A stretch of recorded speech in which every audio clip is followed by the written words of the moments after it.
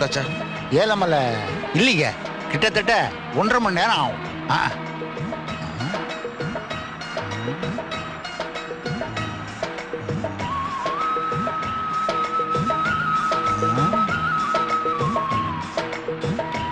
உங்களை எங்கேயோ பார்த்த மாதிரி இருக்க.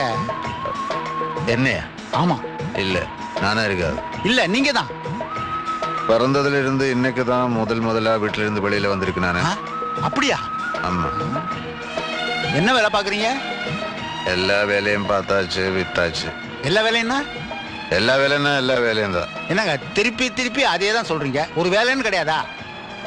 முதல்ல எம்பிபிஎஸ் படிச்சு டாக்டர் ஆயிட்டேன். அதுக்கப்புறம் இன்ஜினியரிங் படிச்சு டாக்டர் ஆயிட்டேன். அதுக்கப்புறம் இன்ஜினியரிங் கோஆபரேட்டிவ் ட்ரைனிங் கழிச்சு டாக்டர் ஆயிட்டேன். அதுக்கப்புறம் நாகாலாண்டில் கம்பவுண்டரா வேலை பார்த்தேன். அதுக்கப்புறம் மறுபடியும் இங்க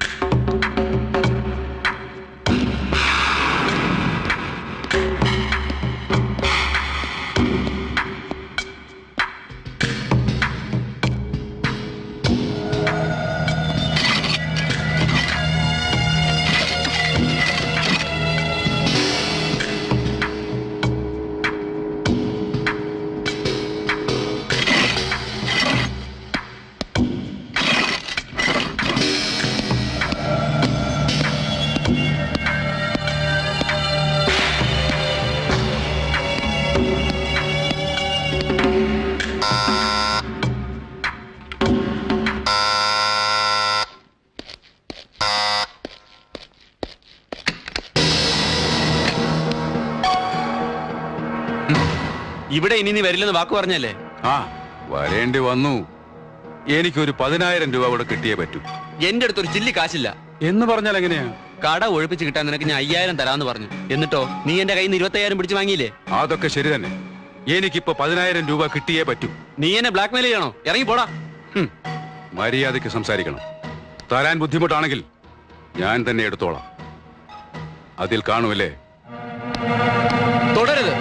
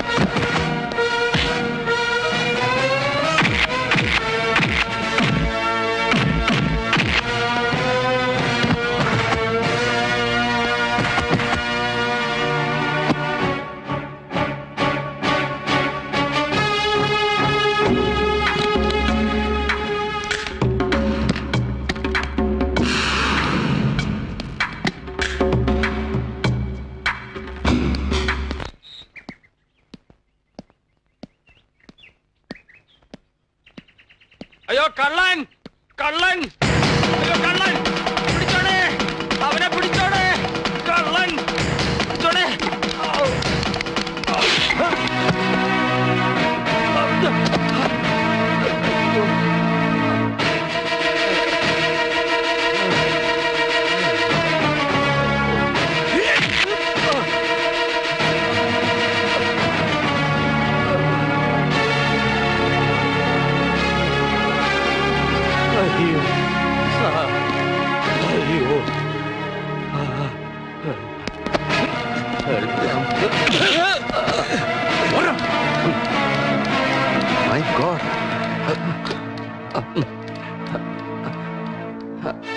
അവൻ കുത്തിയതാണോ കുഴപ്പമില്ല. മരിക്കാൻ മാത്രമുള്ള മുറിവില്ല. അങ്ങനല്ല ഞാനൊരു ഡോക്ടറാണ്. മനസ്സിലായി. വേണ്ട ഡോക്ടർ. ഈ പണം എത്രയും വേഗം പിഷാരടി മാഷിന്റെ വീട്ടിൽ എത്തിച്ചാൽ മതിയായിരുന്നു.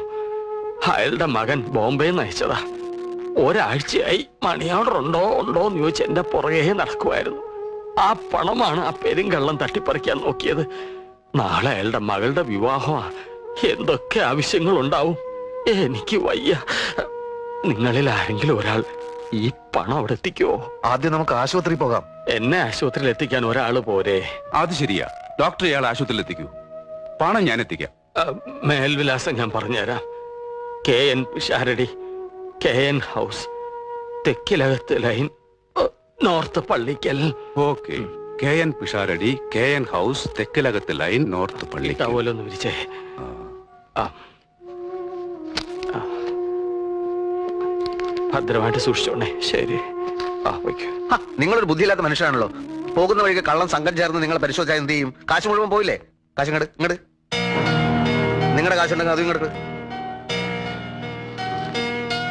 ഇങ്ങോട്ട്. ഇങ്ങനെ പൊതിഞ്ഞ് ദാ, ഇവിടെ വെക്കണം. ആരും കാണാൻ പോകുന്നില്ല? മനസ്സിലായില്ലോ? ഓക്കെ. ആ. ഉണ്ടെന്നേ അങ്ങനെ. ആ പോയിക്കോളൂ.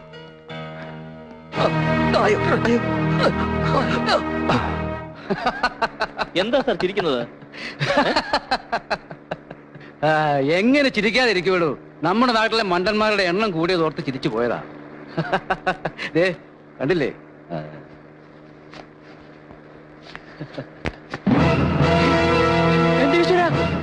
എന്റെ പണം പോയല്ലോ. എന്റെ പണം. എന്റെ പണം പോയല്ലോ എന്റെ പണം. എന്റെ പണം പോയല്ലോ. വണ്ടി തിരിച്ചു വിട്. വണ്ടി തിരിച്ചു വിടാൻ. രാവിലെ ജലപാനം കഴിക്കാതെയായിരുന്നു ആൾമാറാട്ടം. അല്ലാത്ത ക്ഷീണം. നിനക്ക് ക്ഷീണമില്ലേ? ഒരു ഒരു കത്തി ഊരടാ.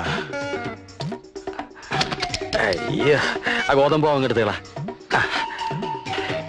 ഇനി ആ പൊതി അഴിച്ച് അവന്റെ രൂപ എത്ര ഉണ്ടോ നോക്ക്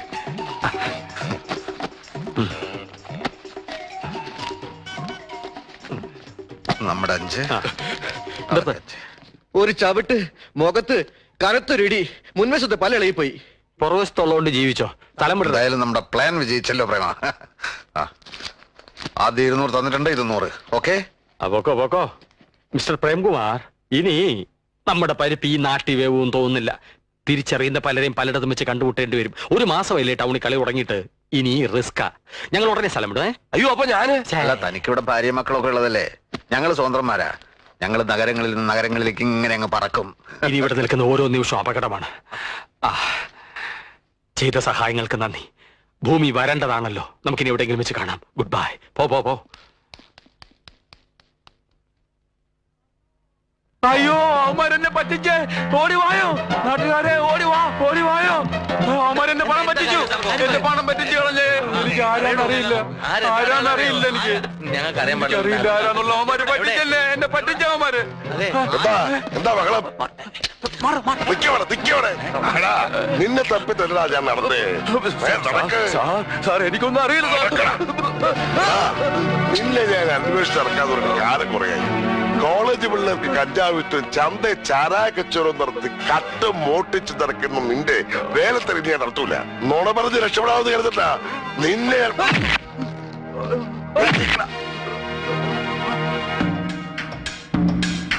അവന്മാരാണ് അവന്മാരാണ് എന്റെ പണം തട്ടിയത്. ഏ പാച്ചന് പറയുമോ?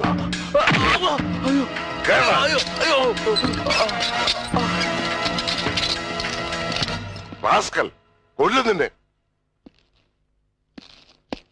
സാർ പിടികിട്ട പുള്ളി ഒരാളെ കിട്ടി സാർ. അല്പം ബുദ്ധി ഉപയോഗിക്കേണ്ടി വന്നു.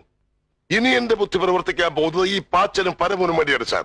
അവർ ഈ നഗരത്തിലുണ്ട്. തന്നോട് ആര് പറഞ്ഞു? ആരും പറയണ്ട സാർ. കമ്പ്യൂട്ടർ ഘടിപ്പിച്ച റഡാറാണ് ഈ ബുദ്ധിയിൽ.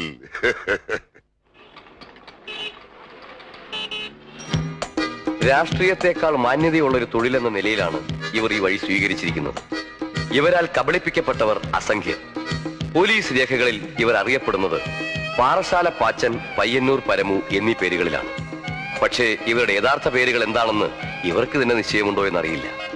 പല പേരുകളിൽ പല വേഷങ്ങളിൽ പല നാടുകളിൽ പുതിയ പുതിയ ചെപ്പടി വിദ്യകളുമായി ഇവർ പ്രത്യക്ഷപ്പെട്ടുകൊണ്ടിരിക്കുന്നു.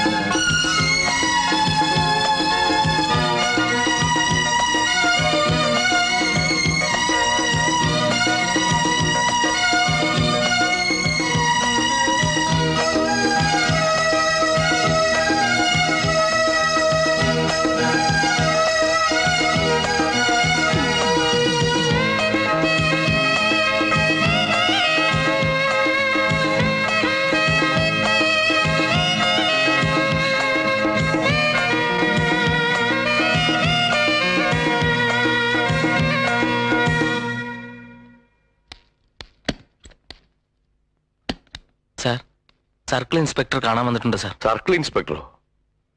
എന്തിനാണാവോ? ആ വരാൻ പറയൂ.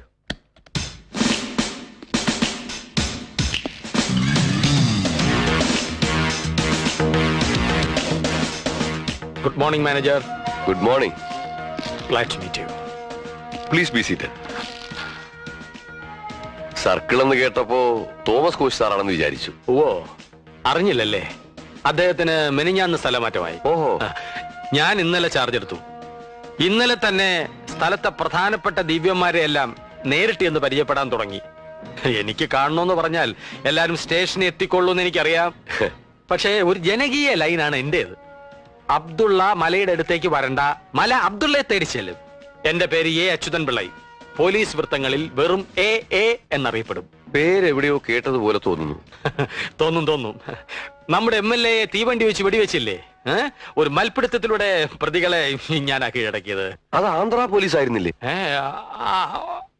അതെ ഞാനന്ന് ആന്ധ്ര പോലീസിലായിരുന്നു. ഞാനും കോൺസ്റ്റബിൾ വിട്ടലാചാര്യയും ചേർന്ന് അയാളെ അല്ല ഞാൻ വന്നത് ഒരു ചെറിയ കാര്യത്തിനാ?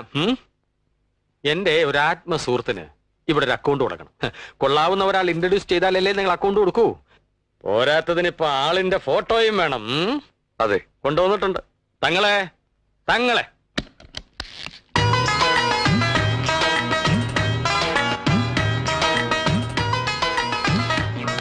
അതെ ഇനി ഇതുപോലുള്ള നിസ്സാര കാര്യങ്ങൾക്ക് എന്നെ ഉപദ്രവിക്കരുത്.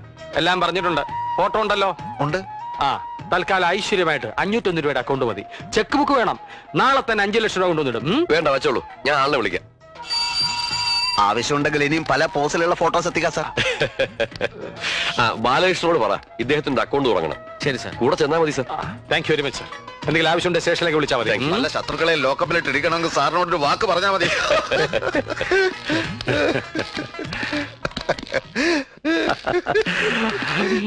ഒരു ചാൻസ് കിട്ടി അത് ഓവർ ആക്കും അല്ലടാ ഫുൾ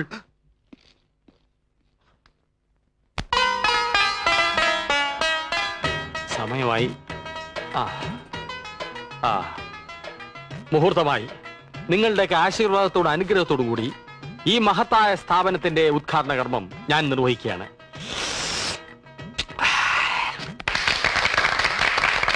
പ്രിയപ്പെട്ടവരെ ഈ നിൽക്കുന്ന സർക്കിൾ ഇൻസ്പെക്ടർ ഒരു വലിയ മനുഷ്യനാണ്. ഒരു വലിയ മനസ്സിന്റെ ഉടമയാണ്. ജലസേചനം ജലസേചനം. ജനസേവനം ജനസേവനം. ഏത് നേരത്തും ഈ ഒരു ചിന്ത മാത്രമേ ഇദ്ദേഹത്തിനുള്ളൂ. താൻ സർക്കിളായിരിക്കുന്ന സ്ഥലത്തെ ജനങ്ങൾ സാമ്പത്തിക ഞെരുക്ക് അനുഭവിക്കാൻ പാടില്ല. അതുകൊണ്ടാണ് ഇങ്ങനൊരു സ്ഥാപനം ഇവിടെ ആരംഭിക്കാൻ അദ്ദേഹം എന്നോട് ആവശ്യപ്പെട്ടത്. പണ്ടം പണയത്തിന്മേൽ ദേശസാൽകൃത ബാങ്കിൽ നിന്നോ നാടൻ ബാങ്കിൽ നിന്നോ നിങ്ങൾക്ക് പണം കിട്ടും. പക്ഷെ ചുരുങ്ങിയത് വർഷം പതിനഞ്ച് ശതമാനമാണ് അവരുടെ പലിശ. പക്ഷെ നിങ്ങൾ ഞെട്ടരുത് ഇവിടെ കേവലം കേവലം അഞ്ച് ശതമാനം മാത്രമാണ് പലിശ.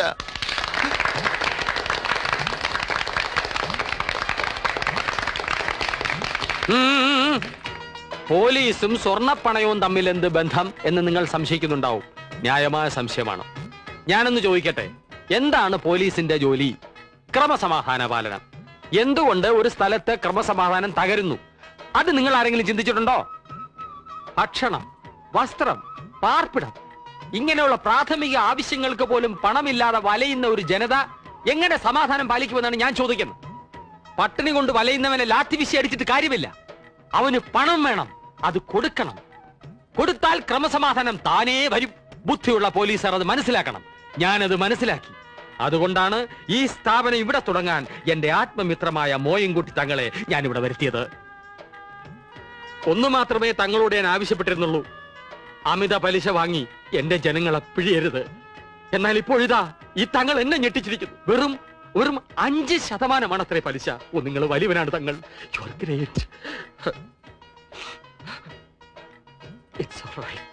ഞങ്ങളുടെ ഏജന്റുമാർ വിവരം അറിയിച്ചു. നിങ്ങൾ വന്നു. ഞാനിവിടെ ഒരു കാര്യം പ്രഖ്യാപിക്കാൻ ആഗ്രഹിക്കുകയാണ്. ഈ ഉദ്ഘാടന ദിവസം തന്നെ സ്വർണം പണയം വെക്കുന്നവരിൽ നിന്ന് അഞ്ച് ശതമാനമല്ല വെറും നാല് ശതമാനം മാത്രമേ ഞങ്ങൾ പലിശ വാങ്ങൂ. എന്നാ തുടങ്ങാം. എങ്കിൽ ആരംഭിക്കാം. വരൂ. ക്യൂ ക്യൂ പ്ലീസ് ക്യൂ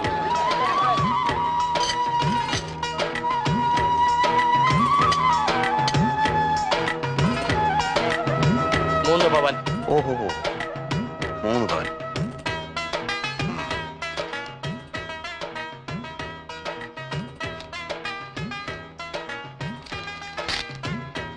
അല്ല ചെക്കോ? തങ്ങൾ പണം കൊണ്ട് നടക്കാറില്ല. അൻപത് ലക്ഷം രൂപ ബാങ്കിൽ ഇട്ടിരിക്കുകയാണ്. ചെക്കുമായി എല്ലാവരും അങ്ങോട്ട് ചെന്നാൽ മതി. സി ഐ ആണ് പറയുന്നത്. വയ്ക്കോളൂ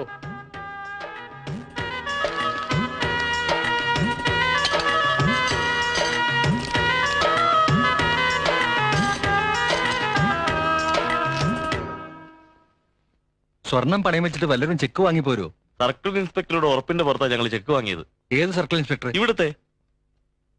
അക്കൗണ്ടിൽ പണമില്ലല്ലോ. ഇത് ചതിയാണ്. സോറി.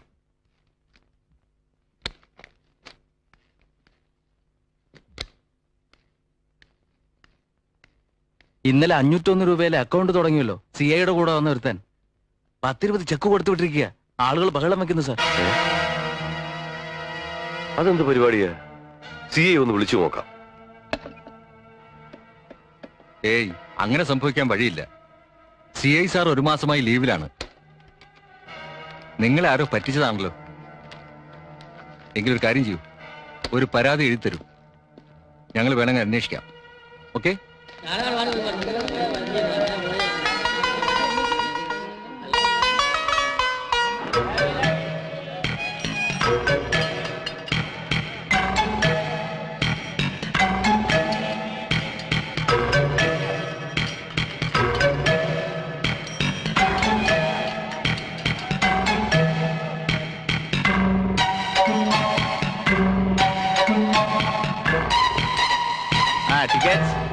സ്ത്രീകളുടെ സീറ്റ് ഒഴിഞ്ഞു കിടക്കുന്ന കണ്ടില്ലേ? അവിടെ ഇരിക്കേ.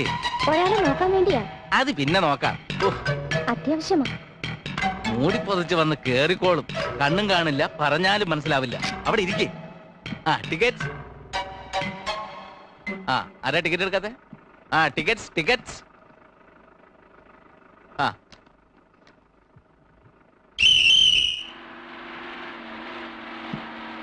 ഇത് എന്തൊരു ശല്യമാ? അവിടെ ഇരിക്കും അമൃതത്തി ആരാ ടിക്കറ്റ് ടിക്കറ്റ് അയ്യോ എന്റെ പേഴ്സ് കാണുന്നില്ല.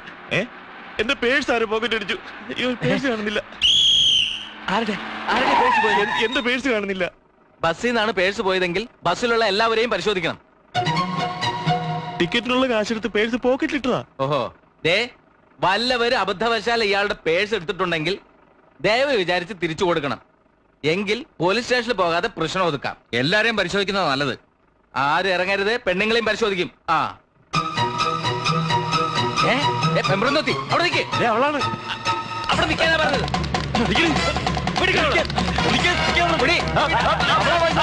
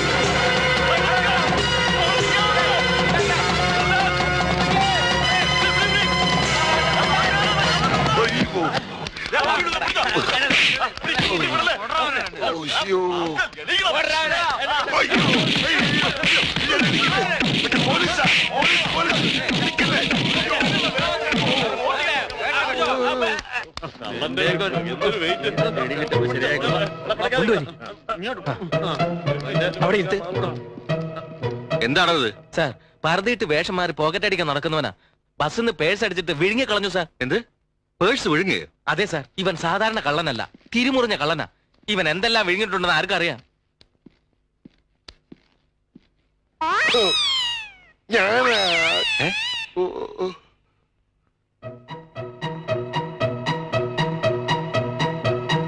നിങ്ങൾ എല്ലാരും കൂടി ഇയാളെ നന്നായി കൈകാര്യം ചെയ്തു അല്ലേ? അതെ സാർ.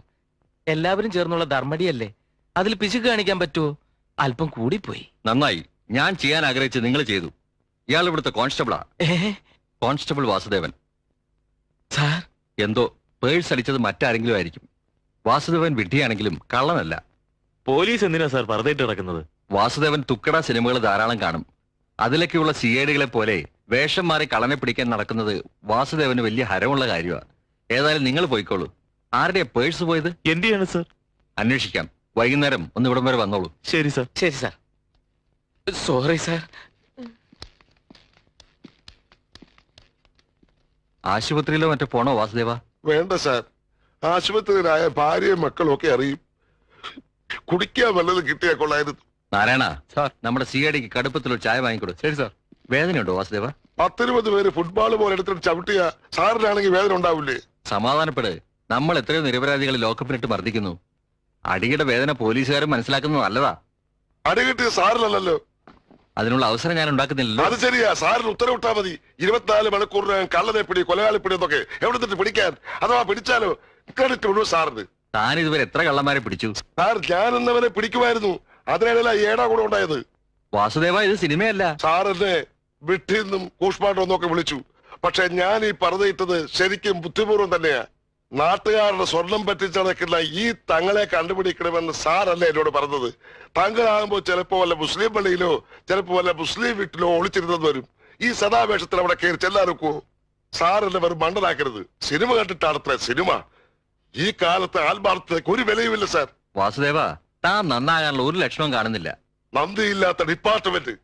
ആരെന്ത് പറഞ്ഞാലും ശരി. വേഷം മാറാതെ ഞാൻ കള്ളനെ പിടിക്കില്ല. എങ്കിൽ പോയി പിടിക്കണോ കള്ളനെ? ബന്ധുക്കൂസേ ഇവനെയൊക്കെ എന്റെ സ്റ്റേഷനിൽ എങ്ങോട്ടെങ്കിലും കെട്ടിയെടുക്കണേ കർത്താവേ.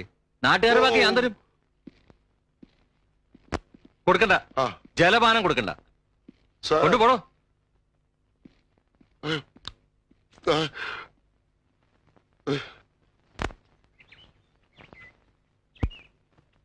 പരിചയമില്ലാത്തവർക്ക് ഇക്കാലത്ത് ആരും വീട് വാടക കൊടുക്കൂല. എന്ന് വെച്ച് ഏതെങ്കിലും ലോഡ്ജിൽ ചെന്ന് മുറിയെടുത്ത് പോലീസിന്റെ വലയിൽ ചാടണോ? നമ്മുടെ പോലീസാണെന്ന് ഓർമ്മ വേണം. ആ ഒന്ന് രണ്ടു ദിവസം വെടികൊണ്ട പന്നിയെ പോലെ ടൗണിലൊക്കെ ഒന്ന് പരക്കം പായും. പിന്നെ സംഗതി വിടും. ആ നേരത്ത് നമുക്ക് എവിടെയെങ്കിലും താമസിക്കാം. എനിക്ക് ചെറിയൊരു കുറ്റബോധം ഇല്ലാതില്ല.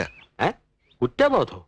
എന്തിന്? നമ്മൾ ഇതുവരെ വലിയ താപ്പാനകളെ മാത്രമേ ചതിച്ചിട്ടുള്ളൂ. ഇപ്പോ ആ ഇങ്ങനെയൊക്കെ ചിന്തിച്ചാ ജീവിക്കാൻ ഒക്കുകയല്ല. പാവപ്പെട്ടവരെയും ശിക്ഷിക്കപ്പെടേണ്ടവരുണ്ട്. ഇവനൊക്കെ വോട്ട് ചെയ്തിട്ടല്ലേടാ ചില കള്ളന്മാർ അസംബ്ലിയിലും പാർലമെന്റിലും കയറി പറ്റുന്നത് വിവരശൂന്യന്മാരെ ശിക്ഷ അനുഭവിച്ചേ പറ്റൂ. അല്ല പിന്നെ.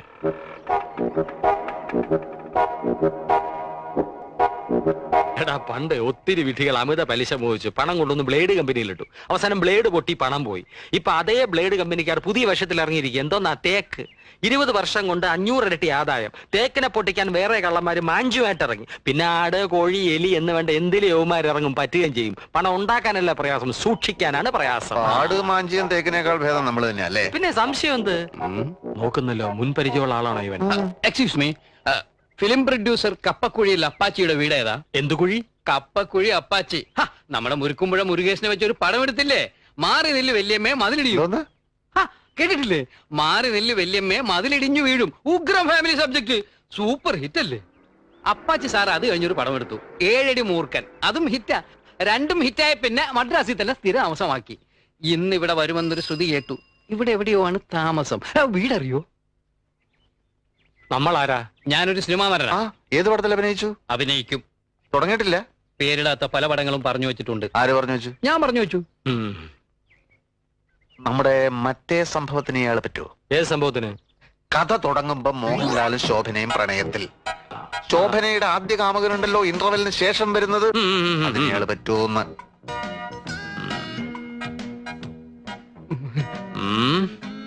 ഹൈറ്റ് ഇല്ല പിന്നെ കുടവയറും ഉണ്ട് അത് ശരിയാണ് പക്ഷെ ഫേസ് കൊള്ളാം നല്ല ഗ്ലാമറാ.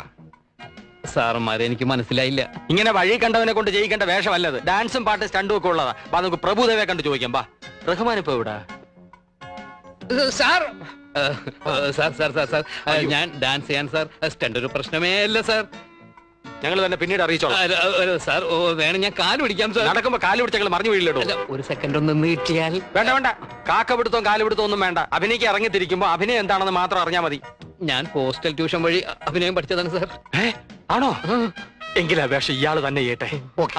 ഒന്ന് പിടിച്ചേ. അതാ നന്നായി വരട്ടെ. താങ്ക് യു എന്റെ എന്റെ ദൈവങ്ങളാ സാറന്മാര്. ഞാൻ സൂപ്പർ സ്റ്റാർ ആയി കഴിഞ്ഞാൽ സാറന്മാരുടെ മുമ്പിൽ ഞാൻ ജാട കാണിക്കില്ല. ജാട കാണിച്ചാൽ തന്റെ നെഗറ്റീവ് ഞങ്ങൾ ചുരുട്ടിക്കളയും. അങ്ങനെ ചുരുട്ടിയാൽ മുഖം ഇങ്ങനെ ഇരിക്കും. അയ്യോ. മതി. സാറന്മാരുടെ പേരറിഞ്ഞാൽ കൊള്ളാമായിരുന്നു. ഹിന്ദി പടങ്ങൾ കാണാറുണ്ടോ? അത്യാവശ്യം. ദോ ചോറോങ്കി കി കഹാനി കണ്ടോ? ഇല്ല. അത് ഞങ്ങൾ പിടിച്ചതാ. ഞാൻ എ കെ സി പി ഇത് ബി കെ ചോപ്ര ഞാൻ ഡയറക്ടർ. ഞാൻ പ്രൊഡ്യൂസർ. അയ്യോ അപ്പൊ ഇത്രയും ഫ്ലുവന്റ് ആയിട്ട് മലയാളം എങ്ങനെ? ഞങ്ങൾ യഥാർത്ഥത്തിൽ മലയാളികളാ. ഹിന്ദിക്കാര് പാരവയ്ക്കാതിരിക്കാൻ വേണ്ടി ചുമ്മാ സിപ്പി എന്നും ചോപ്ര എന്നൊക്കെ പേര് മാറ്റിയത്. ഇത് സാറന്മാരുടെ ആദ്യ മലയാള പടമാണോ അതെ. ചിലപ്പോ അവസാനത്തേതും. അതെന്താ സാർ? താനൊക്കെ എല്ലായിടും അഭിനയിക്കുന്നു എന്താവും ഗതി എന്ന് ആർക്കറിയാം? നന്നാവും സാർ. ലാലേട്ടന്റെ ഡേറ്റ് കിട്ടിയോ? ഗോപിയേട്ടനാ? ആ, അല്ല ലാലേട്ടൻ മോഹൻ ലാലേട്ടൻ. സാർ ലാലേട്ടൻ ഇപ്പൊ എന്ത് റേറ്റാ വാങ്ങുന്നത്? പത്ത് ലക്ഷോ പതിനഞ്ച് ലക്ഷം? ബ്ലഡി ഫൂൾ മോഹന്റെ റേറ്റ് അറിഞ്ഞിട്ട് തനിക്ക് എന്താ കാര്യം? തനിക്ക് തന്റെ കാര്യം നോക്കിയാ പോരടെ സോറി ക്ഷമിക്കണം സാർ. ഇനി ഇതുപോലുള്ള വിട്ടി ചോദ്യങ്ങൾ ചോദിക്കരുത്. ഇല്ല സാർ. ആ ഇനി കാര്യത്തിലേക്ക് വരാം. പോഷ് ഹോട്ടൽ ലൈഫ് ഞങ്ങൾ മടുത്തു കഴിഞ്ഞിരിക്കുന്നു. ലൊക്കേഷൻ നോക്കി തീരും വരെ വളരെ ലളിതമായ ഒരു താമസ സൗകര്യം സംഘടിപ്പിച്ചു തരാൻ തനിക്ക് പറ്റുമോ സാറന്മാര് ദേഷ്യപ്പെടരുത്. ഇല്ല. വിരോധമില്ലെങ്കിൽ സൗകര്യമൊക്കെ വളരെ കുറവാ. ഞാൻ താമസിക്കുന്ന വാടക വീട്ടിൽ അവിടെ എ സി ഒന്നുമില്ല. മതി. മതി. സൗകര്യം ഒട്ടുമില്ല തന്നെ ഓ മതി. മതി.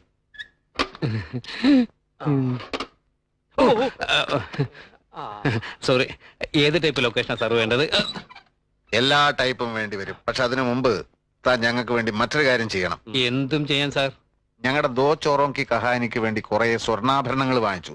നായിക നസീമക്ക് ഇടാനായി. സീമയോ? സീമയല്ല നസീമ. ആ അതൊന്ന് വിൽക്കണം. സ്വർണക്കടയിൽ കൊടുത്താലൊന്നും ശരിക്കുള്ള വില കിട്ടില്ല. അപ്പൊ ഇവിടെ ചുറ്റുപാടുള്ള പല സ്ത്രീകൾക്കും കൊടുത്താൽ അല്ലേ? അല്ല ഈ സിനിമയിലെ ആഭരണങ്ങളൊക്കെ ഇമിറ്റേഷൻ അല്ലേ.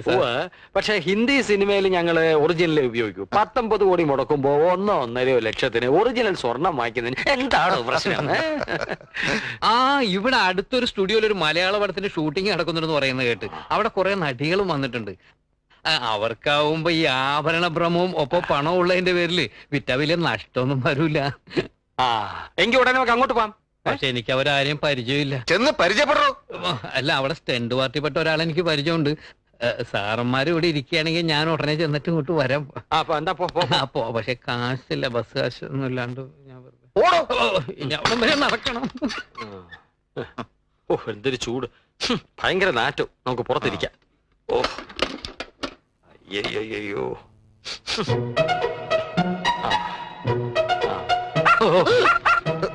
ഒരു പന്ന പട്ടി പെറ്റി കിടക്കുക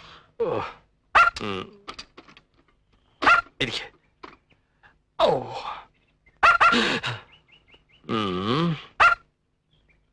മോഹൻലാൽ എനിക്കൊരു പ്രശ്നമേ അല്ല. എന്റെ കൂടെ പുള്ളി ഒരു സീനിൽ അഭിനയിക്കാമെന്നുണ്ടെങ്കിൽ അരിച്ച് പൊളിക്കാൻ കൈ കൊടുക്കും. നിങ്ങൾ തമ്മിൽ സ്റ്റണ്ട് ഉണ്ട് കാണുമായിരിക്കും. സ്റ്റണ്ട് ഉണ്ടെങ്കിൽ സൂത്രത്തിൽ ഒരു ഇടി കൊടുത്താൽ മതി. പുതുമുഖം പ്രേമദത്തിന്റെ ഇടിയേറ്റ് മോഹൻലാൽ ആശുപത്രിയിൽ. അങ്ങനെ പത്രത്തിൽ വരും. പെട്ടെന്ന് പേരെടുക്കാം. അല്ലേ? നോക്കട്ടെ. പിന്നെ മമ്മൂട്ടി സുരേഷ് ഗോപി ഇവരെ കൂടെ ഒന്ന് ഒതുക്കിയ പിന്നെ പേടിക്കാനൊന്നുമില്ല. ആഞ്ജനേയ രക്ഷിക്കണേ. പിന്നെ സൂപ്പറായിട്ട് അങ്ങനെ കാര്യമായിട്ട് ആരും ഇല്ല. എല്ലാരും ഒതുക്കാവുന്നേ ഉള്ളൂ.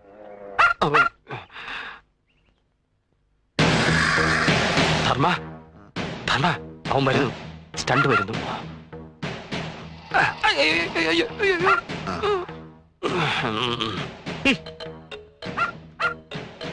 ഇതാണ് സാർമാരെ ഞാൻ പറഞ്ഞ സ്റ്റെൻഡ് പാർട്ടി കുങ്ഫു ഫക്രുദ്ദീൻ. അസലാം വലൈക്കും സലാം വലൈക്കും നടിമാരെ കണ്ട് സംസാരിച്ചോ? നമുക്ക് സ്റ്റുഡിയോയിലേക്ക് പോവാം ബായിക്ക് ഒരു ആഗ്രഹമുണ്ട് സാർമാരെ എന്തായത് അല്ല ഫക്രുബായി ഇതുവരെ സ്റ്റെൻഡ് അസിസ്റ്റന്റ് ആയിരുന്നു. നമ്മുടെ പടത്തിൽ സ്റ്റെൻഡ് മാസ്റ്റർ ആയിട്ട് കാശൊന്നും കൊടുക്കണ്ട. എന്തെങ്കിലും തിന്നാൻ കൊടുത്താ മതി. എന്റെ കഴിവ് കാണിക്കാൻ ഒരവസരം. തിന്നാനുള്ള അവസരമോ? അല്ല സർ. അഭ്യാസം കാണിക്കാനുള്ള ഒരവസരം. മാഷാക്കാൻ ഞങ്ങൾക്ക് വിരോധമില്ല. പക്ഷെ സ്റ്റണ്ട് ഞങ്ങൾക്ക് ഇഷ്ടപ്പെടണം. ഒന്ന് രണ്ട് ഐറ്റംസ് കാണിക്കൂ. ഇപ്പൊ കാണിക്കാം സാർ.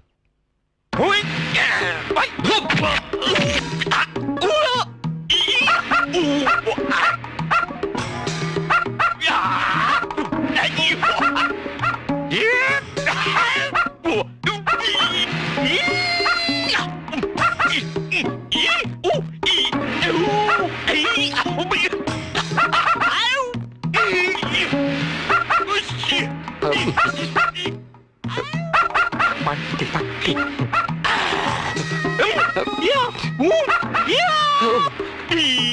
മതി മതി മതി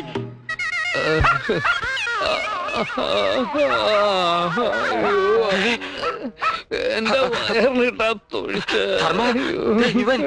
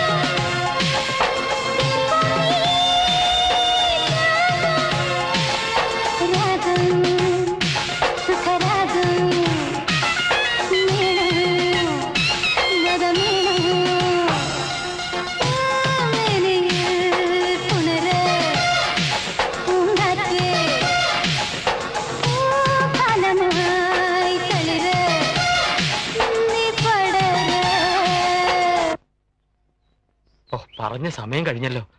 ആ കുങ്ഫു ഫക്രുദ്ദീനലിയെ കാണുന്നുമില്ലല്ലോ. ഏ?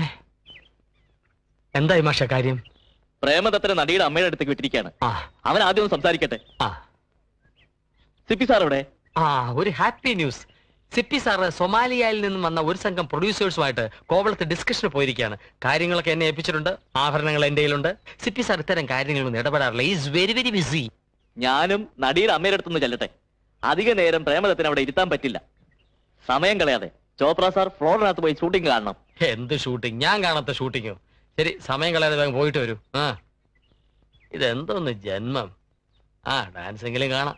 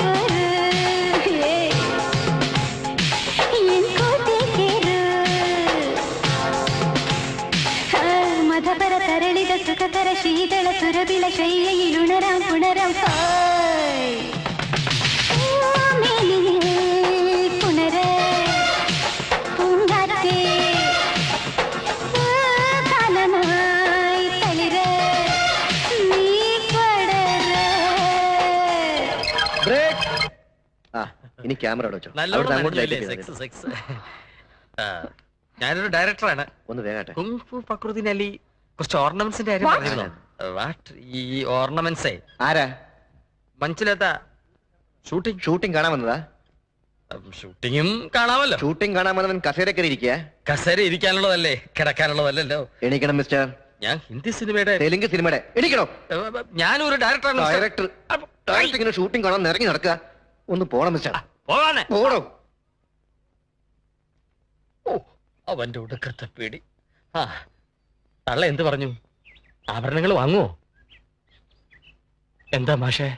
ആ സ്ത്രീക്കൊരു സംശയം. സാറുമാർ എവിടുന്നോ കട്ടോണ്ട് വന്നതാണത്രേ. അവർക്ക് വാങ്ങാൻ താല്പര്യമില്ല.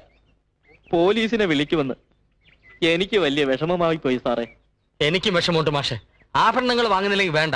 കട്ടോണ്ട് വന്നോ കടത്തിക്കൊണ്ടു വന്നോ എന്നാ തള്ള എന്തിനാ അറിയണം. എവിടെയാ തള്ള? എനിക്കൊന്ന് കാണണം. മാന്യമാരെ പറ്റി അവരെന്താ വിചാരിച്ച? അട്ടിച്ചവരുടെ അണപ്പൽ തെറപ്പിക്കും ഞാൻ. അയ്യോ വേണ്ട സാർ. എന്താ വെപ്പുമല്ലാണോ എങ്കിൽ അടിക്കുന്നില്ല. എന്നാലും ആ തള്ള ഒന്ന് കാണണം. അയ്യോ വേണ്ട. അവർ കുളിക്കാൻ ശരീരത്തെ എണ്ണ തേച്ചുകൊണ്ടിരിക്കുകയാണ്. മോൾ എണ്ണ തേച്ച് കുളിക്കുകയല്ലോ അല്ല ഡാൻസ് ചെയ്യാണ്. അവളെ കണ്ടാലും മതി. അയ്യോ വേണ്ട സാർ. താൻ കൈവിടറോ ആഹാ. അയ്യോ വേണ്ട.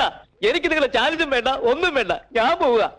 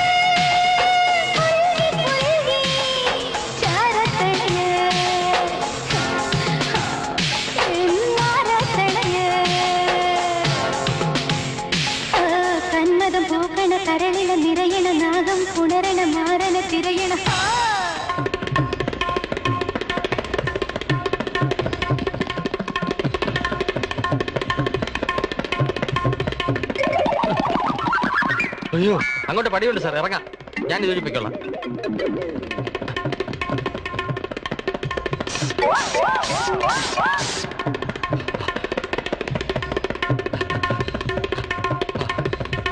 എന്റെ അമ്മ. ആ.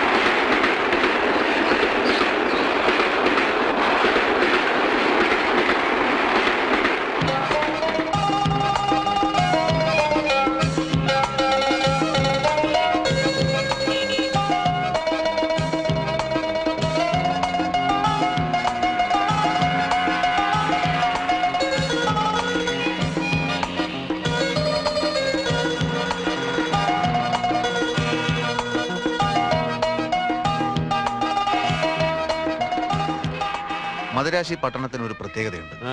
മറുനാട്ടുകാര് രണ്ട് കൈ നീട്ടി സ്വീകരിക്കും. ചിലപ്പോ ആകാശത്തോളം പൊക്കും.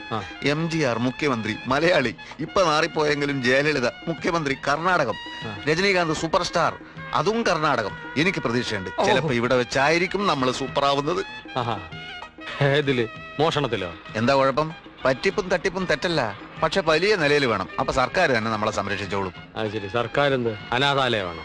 നമ്മളെയൊക്കെ സംരക്ഷിക്കും. ഓഹരി കുംഭകോണത്തിൽ കോടിക്കണക്കിന് വെട്ടിച്ചു എന്ന് പറയുന്ന ഒരു മഹാൻ ഉണ്ടായിരുന്നല്ലോ. എന്തായിരുന്നു അയാളുടെ പേര്? ഹർഷത് മേത്ത. ആ ഹർഷത് മേത്ത. അയാളിപ്പോ എവിടെ? എവിടെ? എവിടെയോ സുഖമായി ജീവിക്കുന്നു. പിന്നെ ബോഫേഴ്സ്. ബോഫേഴ്സ് എന്തായി? ഒന്നും ആയില്ല. അതാ ഞാൻ പറഞ്ഞത്. നമ്മളെ പോലുള്ള സാധാ കള്ളന്മാരെ മാത്രമേ സർക്കാർ പിടിച്ച് ജയിലിനകത്തിടൂ. ഏത്? ആഹാ എടോ ധർമ്മ. വലിയ നിലയിലുള്ള തട്ടിപ്പ് നടത്തണമെങ്കിൽ രാഷ്ട്രീയമേ രക്ഷയുള്ളൂ. അതിനുള്ള തൊലിക്കട്ടെ എനിക്ക് ഏതായാലും ഇല്ല. ഓ ഓർക്കുമ്പോ ഇപ്പോഴും കിടുങ്ങിപ്പോവാ. പോലീസിന്റെ വലയിലെങ്ങാനും നമ്മൾ വിട്ടിരുന്നെങ്കിലോ ഫുൾ ടൈം ദൈവം ഇപ്പൊ നമ്മളെ പോലുള്ളവരുടെ കൂടെയാ. പേടിക്കാനേ ഇല്ല. ഈ ഭയന്ന് ഭയന്നുള്ള ജീവിതം ഇച്ചിരി കട്ടി തന്നെയാണേ ഇക്കാലത്ത് എല്ലാ ജോലിയിലും ഇത്തിരി റിസ്ക് ഉണ്ട്. ഈ തൊഴിലിൽ അതിന്റെ അളവ് ഇത്തിരി കൂടും. നമ്മളെല്ലാ വെല്ലുവിളികളെയും നേരിടണം.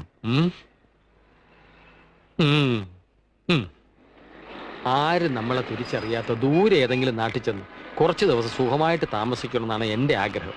അല്ല എന്തുദ്ദേശ നടപ്പ്? കൈ. ഒന്ന് രണ്ട് ദിവസത്തെ റെസ്റ്റ് വേണം. നിന്റെ കൈന്റെ മുറിവൊക്കെ ഒന്ന് കരുകട്ടെ ആദ്യം നമുക്കൊരു മുറി സംഘടിപ്പിക്കാം. മുറി. ക്യാഷ് ഇറക്കട്ടോ വേണ്ട.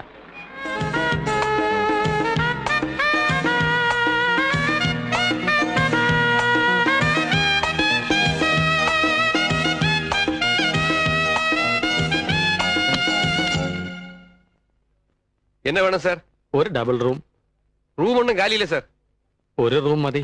ഇല്ല സാർ എന്തുകൊണ്ടില്ല? നമുക്ക് വേറെ നിക്ക. നിക്ക് ഞാൻ കേരള പോലീസ് ഇയാൾ ആന്ധ്ര പോലീസ്. കേരളത്തിൽ നിന്ന് ഒരു എം എൽ എ ഒളിവ് പോയിരിക്കുക. അയാളെ കണ്ടുപിടിക്കാനാണ് ഞങ്ങൾ വന്നത്. ഇവിടെ ഉണ്ടോ അയാൾ? ഇങ്ങ ഇല്ല സർ. വിശ്വസിക്കില്ല. എല്ലാ റൂമും ഞങ്ങൾക്ക് പരിശോധിക്കണം. സത്യമാ അന്തമാതിരി എം എൽ എ ഇല്ല സർ. ആ ഇല്ലെങ്കിൽ ഞങ്ങൾക്ക് റൂം കൊടു. ഇവിടെ താമസിച്ചുകൊണ്ട് വേണം ആ എം എൽ എ പിടിക്കാൻ. എം എൽ എ കിട്ടിയില്ലെങ്കിൽ തന്നെ അറസ്റ്റ് ചെയ്യും. കൊടു റൂം. ഉം, ഉം.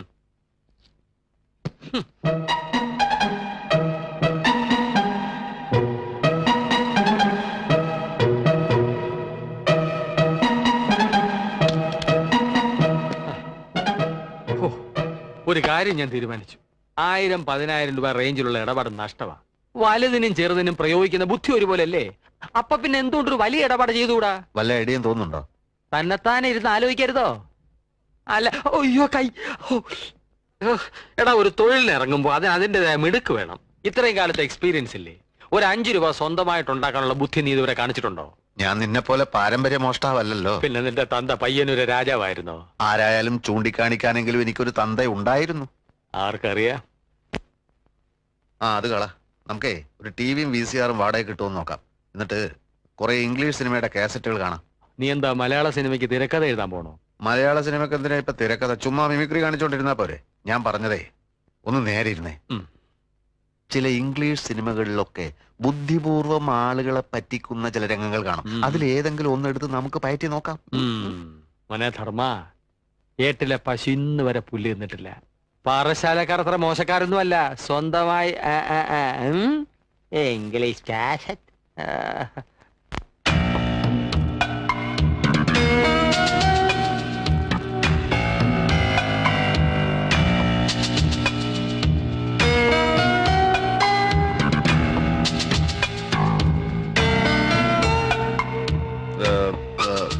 excuse me yes sir I have some precious diamonds with me മലയാളിയാണെന്ന് തോന്നുന്നു?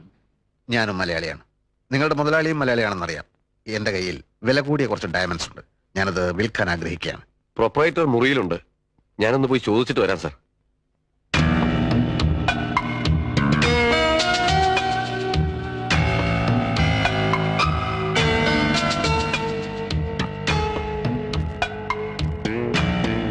വരൂ sir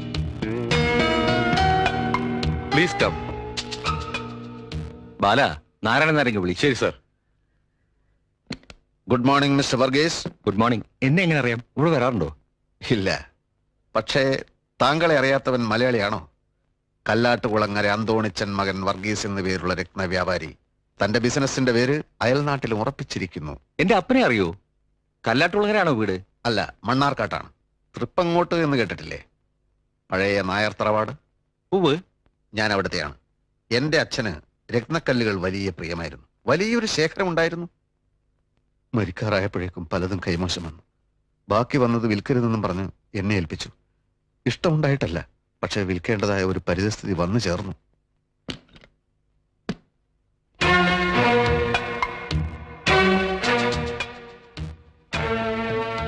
നോക്ക് നാരായണ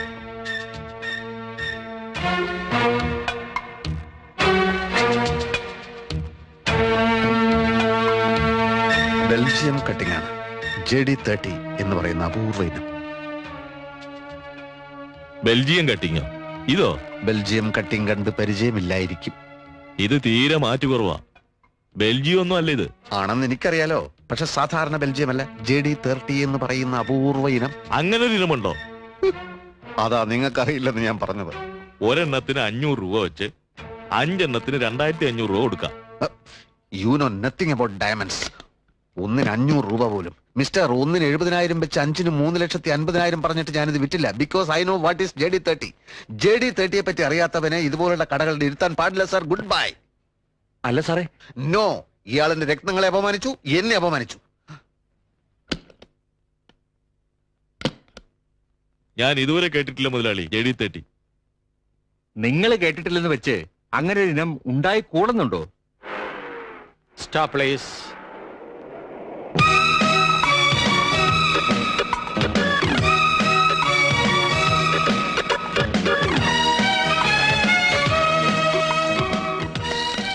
അമുറാബി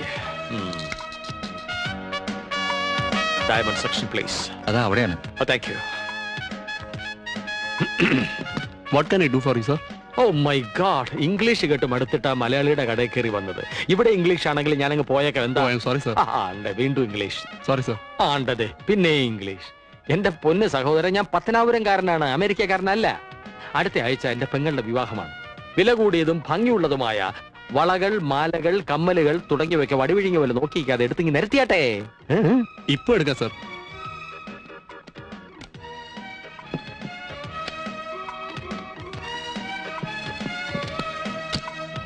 നോക്കിയേട്ടെ സാർ.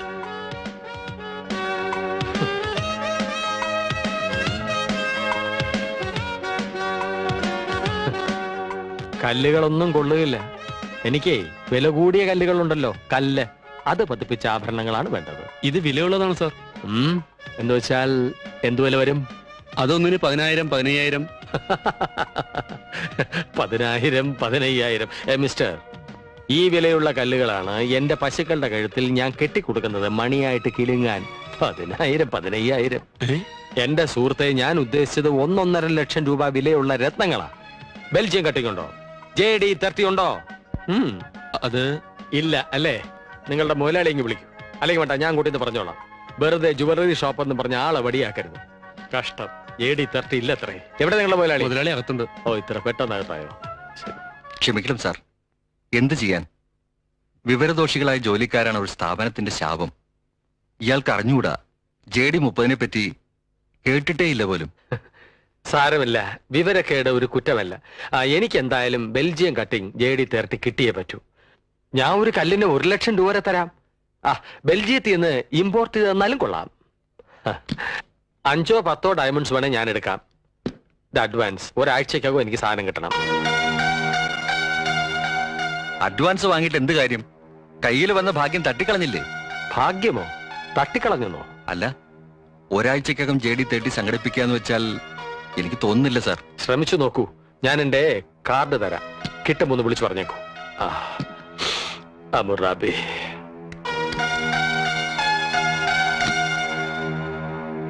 ഇറങ്ങി പോകളവാ ഡയമണ്ട്സിന്റെ മാസ്റ്റർ ആണത്രേ. എഴുപതിനായിരത്തിന് അയാൾ തന്നേനെ. ഒരു ലക്ഷത്തിന് ഇയാൾക്ക് വിറ്റിരുന്നേൽ അഞ്ച് കല്ലിന് ഒന്നര ലക്ഷം രൂപ ഒറ്റയടിക്ക് ഇങ്ങ് പോന്നേനെ. ദ്രോഹി പോണോ എന്റെ മുമ്പിൽ നിന്ന്? മുതലാളി. എടോ പോവാൻ may come in sir yes come in excuse me yes please come in sorry ഞാൻ എന്റെ കണ്ണൻ എടുക്കാൻ മറന്നു. സാർ ഒരു മിനിറ്റ് നോ ഞാൻ ഇപ്പൊ തന്നെ ഡയമണ്ട്സ് നോ ഡയമണ്ട്സ് ഞാനത് നിങ്ങൾക്ക് വിൽക്കാൻ ഉദ്ദേശിക്കുന്നില്ല. സാർ നല്ല വില ഇല്ല മിസ്റ്റർ വിൽക്കാൻ ഉദ്ദേശിക്കുന്നില്ല എന്ന് പറഞ്ഞില്ലേ? സാർ പ്ലീസ് സാർ ഒന്ന് നിൽക്കണേ sir please sir no no Narayanan Nair ഒരു കഴുതയാ. അതെ അതെ. അയാൾക്ക് വേണ്ടി ഞാൻ മാപ്പ് ചോദിക്കാം സാർ അമ്പതിനായിരം തരാം സാർ നടപ്പില്ല. അറുപത്? സാധ്യല്ല. എഴുപത്? എഴുപത്തി അഞ്ചാണേൽ ആലോചിക്കാം. അതിച്ചിരി എങ്കിലാണ് അവിടെ ഏറ്റു. ഏറ്റു?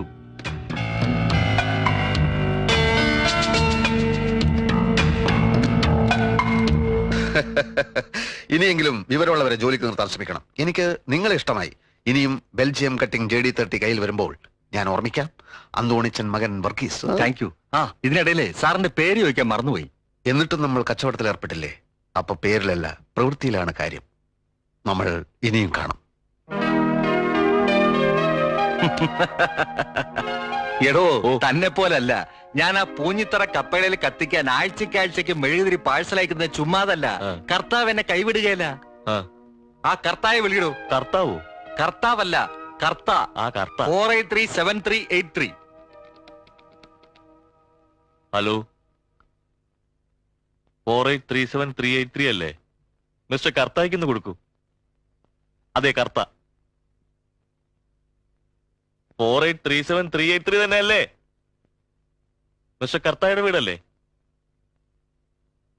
മുതലാളി കർത്തായുടെ നമ്പർ അല്ലെന്ന്. എന്ത്? കർത്തായുടെ നമ്പർ അല്ലെന്നോ?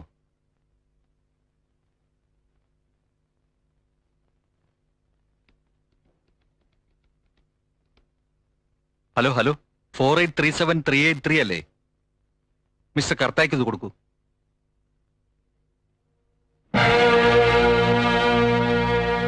ചതിച്ചോ കർത്താവേ?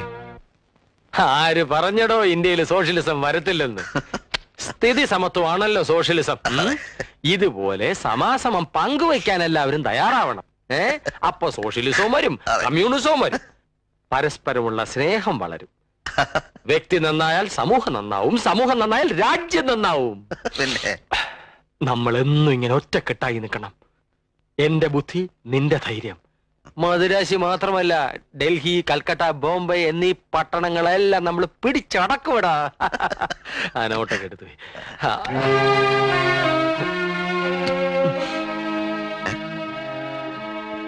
നീ എന്നെ ഒരിക്കലും വിട്ടുപിരിഞ്ഞു പോയില്ലല്ലോ അതെന്താ ആദ്യമായിട്ട് അങ്ങനെ ഒരു ചോദ്യം?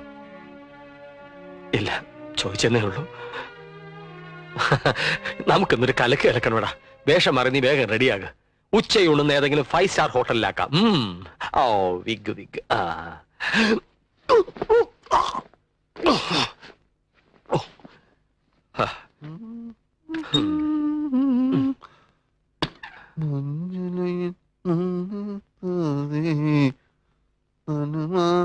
ചന്ദ്രിക വന്നു നിന്നെ മാത്രം കണ്ടില്ലല്ലോ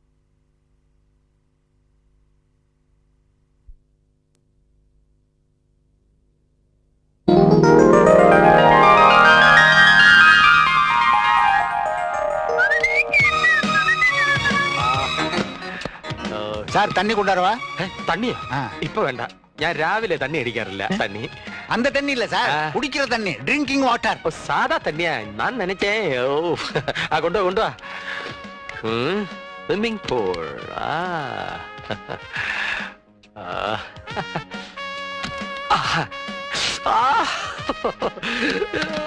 டெலிஃபோன் பண்ணி போட்டு சிரிப்பது இவ்வளோ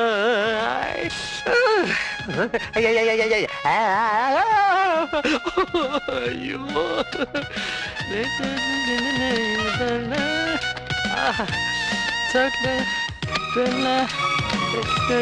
எங்க இருந்தால சொன்ன சொன்ன இவன் லேட்டஸ்ட் செல்லுலார் போனா தொண்டி விளை இவன் அங்கம் படைத்தல்ல. குளிக்கட்டு குளிக்கட்டு.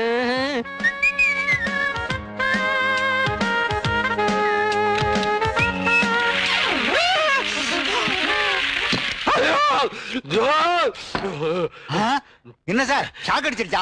அங்க சுடு தண்ணின்னு சொல்லல வெந்து போச்சு. என்ன ரெட் டாப் திறந்தா ஹாட் வாட்டரும் தெரியாதா? நீ ஃபைவ் ஸ்டார் ரோட்ல தங்கினதே இல்லையா? இறங்கி போடும் ஷட் அப் இறங்கி போடும். நீ கூப்பிட்டா நான் தான் வரணும் ஜாக்கிரதை ஐயோ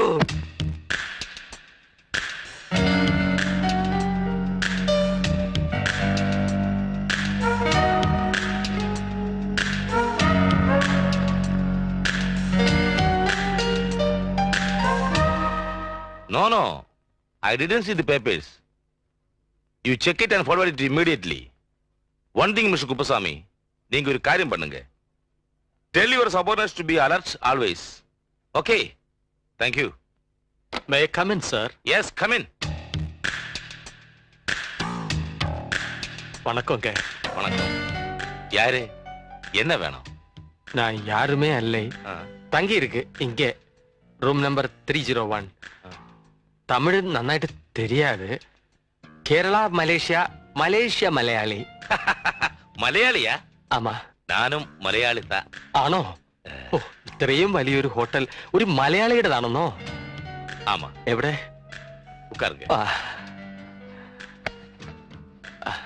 നാൽപ്പത് വർഷത്തേക്ക് മുന്നാടി.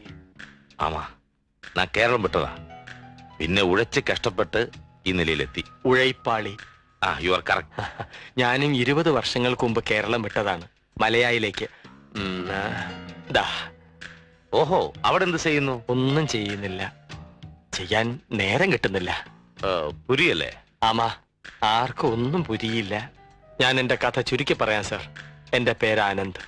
വർഷങ്ങൾക്ക് മുമ്പ് കോവളം കടപ്പുറത്ത് ഞാൻ കടല വിറ്റുകൊണ്ടിരുന്നപ്പോ ഒരു സായിപ്പ് എന്റെ അടുത്ത് വന്നു. എന്നെ നോക്കി ഞാനും നോക്കി. ഞാൻ അയാൾക്ക് കടല കൊടുത്തു. കാശ് വാങ്ങിയില്ല. വിദേശികൾ ഞങ്ങളുടെ അതിഥികളാണ്. കാശ് വാങ്ങാൻ പാടില്ലെന്ന് എനിക്കറിയാവുന്ന ഇംഗ്ലീഷ് ഞാൻ പറഞ്ഞൊപ്പിച്ചു. സായിപ്പിന് എന്നെ അങ്ങ് പിടിച്ചു. പിന്നെയും മൂന്നാൽ ദിവസം ഞങ്ങൾ ഒന്ന് കണ്ടുമുട്ടി. ആരുമില്ലാത്ത ഒരു അനാഥനാണ് ഞാനെന്നറിഞ്ഞപ്പോ സായിപ്പിന്റെ കണ്ണ് നിറഞ്ഞു. ചുരുക്കി പറഞ്ഞാൽ സായിപ്പ് എന്നെ അങ്ങ് മലയാളിലേക്ക് കൊണ്ടുപോയി. ഓഹോ. ആ എന്നിട്ട്? ആ ബെർക്കലി സായിപ്പ് മകനെ പോലെ എന്നെ വളർത്തി. പിന്നീടാണ് എനിക്ക് മനസ്സിലായത് അദ്ദേഹം ഒരു അനാഥനാണെന്ന്. ആയിരക്കണക്കിന് തേയിലത്തോട്ടങ്ങൾ കെട്ടിടങ്ങൾ വ്യവസായ സ്ഥാപനങ്ങൾ. ഒടുവിൽ ഒടുവിൽ ക്യാൻസർ പിടിപെട്ട് എന്റെ ബർക്കലി സാഹിബ് മരിച്ചുപോയി സർ അഴാതെയാണ് അഴാതെ ആരായാലും അഴുതു പോകും. മരിക്കുന്നതിന് പത്ത് മിനിറ്റിന് മുമ്പ് അദ്ദേഹം സ്വത്തുക്കളെല്ലാം എന്റെ പേർക്ക് എഴുതി വെച്ചു. എന്നിട്ട് എന്നോട് പറഞ്ഞു മകനെ ഈ സ്വത്തുക്കളെല്ലാം നിനക്കുള്ളതല്ല. ലോകത്തുള്ള എല്ലാ അനാഥർക്കും നീ വിതരണം ചെയ്യുന്നു. അങ്ങനെ അനാഥരുടെ കണ്ണീരൊപ്പുന്നു അന്നു മുതൽ ഇന്ന് വരെ ലോകത്തുള്ള എല്ലാ അനാഥരുടെയും കണ്ണെതിരി ഞാൻ ഒപ്പിച്ചുകൊണ്ടിരിക്കുകയാണ് സർ. ഈ നഗരത്തിൽ ഞാൻ ആദ്യമായിട്ട് വരികയാണ്. ഇവിടുത്തെ അനാഥ മന്ദിരങ്ങളൊക്കെ എവിടെയാണെന്ന് എനിക്കറിയില്ല. സാർ എന്നെ ഒന്ന് സഹായിക്കണം അനാഥരെ കണ്ടെത്താൻ. എത്രയും പെട്ടെന്ന് എനിക്ക് അവരെ സഹായിച്ചേ പറ്റൂ സാർ. മിസ്റ്റർ ആനന്ദ് ഇതാണ് നമ്പിക്കൈ. ഉങ്ങൾക്ക് വേണമെങ്കിൽ ആ സായിപ്പിന്റെ സ്വത്ത് മുഴുവൻ ദൂർത്തടിക്കായിരുന്നു. யாரு சோதிக்கேன்? பட் நீங்க நீங்க பெரிய மனிதன் தான் நான் கட்டி கொடுக்கிறேன். இங்க உள்ள அத்தனை அனாத பசங்களை நான் கட்டி கொடுக்கிறேன். தேங்க்யூ சார் என்ன தம்பி இது? ராகு. கேது. சுக்கிரன். பலவிதமான சனி இருக்கு. இப்போ உங்களுக்கு மங்கு சனி. மங்கு சனி வந்தா நாயா அலையணும். புரியலையா? பட்டியா அலையணும். உங்களை ஏமாத்தின ஆளுக்கு நல்ல டைம் கோட்டீஸ்வரன் வாழ்க்கை அவனுக்கு இப்ப கிடைச்சிருக்கும். அந்த ஆள் இப்ப எங்க உண்டுன்னு പറയുங்கோ இந்த ஊர்லயே உண்டு. എങ്കെ அத சொல்றதுக்கு இன்னுം ஐம்பது ரூபாய் கொடுங்க. ആളെ കിട്ടിയാൽ வேணாலும் വേണേലും ஆ நய வஞ்சகனை കൊന്നു குழிச்சு മൂടും அவன் എവിടെയുണ്ടെന്ന് പറയുങ്കോ ஐம்பது ரூபாய் கொடுக்காம நான் சொல்ல மாட்டேன். ഉള്ള ചില്ലറയെല്ലാം പെറുക്കി തന്നില്ലടോ പിന്നെ എവിടുന്ന് അമ്പത് அப்ப போங்கோ. சொல்லடோ. போய் அவன் பாட்டுக்கு. எங்க வீட்டுல காட்டுக்குதான் ஒன்னுடு வர ஆஸ்கர் ஊரை விட்டு ஊரை வந்து திமிரா காட்டுற. உடந்துடுவான் அவனை. ஓடுறது ஓடுறானா?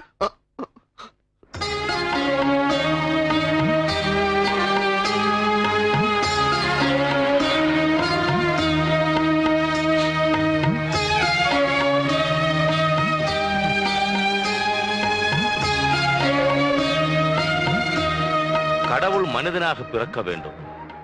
കണ്ണദാസന്റെ ഒരു പാട്ടുണ്ട് ഭയങ്കര പാട്ടാണ് അത് മുഴുക്ക തത്വമാണ് മനിതനായി പിറന്നാലേ കടവുളിന് മനസ്സിലാവൂ இந்த உலகத்தை பற்றி அஹ், கரையாதிருக்குவானது நமக்கு என்ன பண்ண முடியும் எல்லாமே அவன் தீர்ப்பு എന്നാലും sir please mister Anand Anand കരഞ്ഞ നാനും കരഞ്ഞു സോറി സാർ എനിക്കൊരു റിക്വസ്റ്റ് ഉണ്ട് മിസ്റ്റർ ആനന്ദ് ഒരു അഞ്ച് മിനിറ്റ് എന്റെ വീട്ടിലൊന്ന് കയറണം താങ്കളുടെ പുണ്യപാദം എൻ വീട്ടിൽ പതിയട്ടോ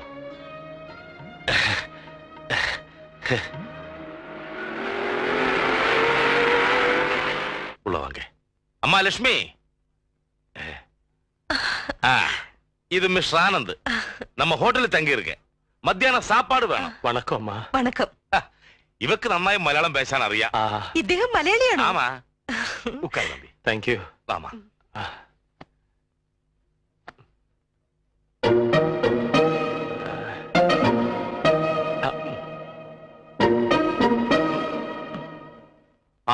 சாப்பாடு பிரமாதமா இருக்கணும் அவர் யாரும் தெரியுமா? கடவுள். எந்த கடவுள்? எந்த கடவுள் அல்ல? கடவுள். இக்காலத்து இந்த மாதிரி மனிதന്മാരെ பார்க்கிறது ரொம்ப பிரயாசம். വിവരമാ അപ്പുറം സൊല്ലേ ഒന്നുകിൽ നിങ്ങൾ മലയാളം പറ അല്ലെങ്കിൽ തമിഴ് പറ രണ്ട് ഭാഷ ഇങ്ങനെട്ട് കൊല്ലാതെ உனக்கு தெரியல எனக்கு மலையாளம் வர்றது ரொம்ப கஷ்டம் வந்து நான் ட்ரை பண்ணல. சீக்கிரம் சாப்பாடு ரெடி பண்ணு. செல்ல. மிஸ் ஆனந்த் வாங்க என் ரூமுக்கு போகலாம். അതെട്. അങ്ങേ.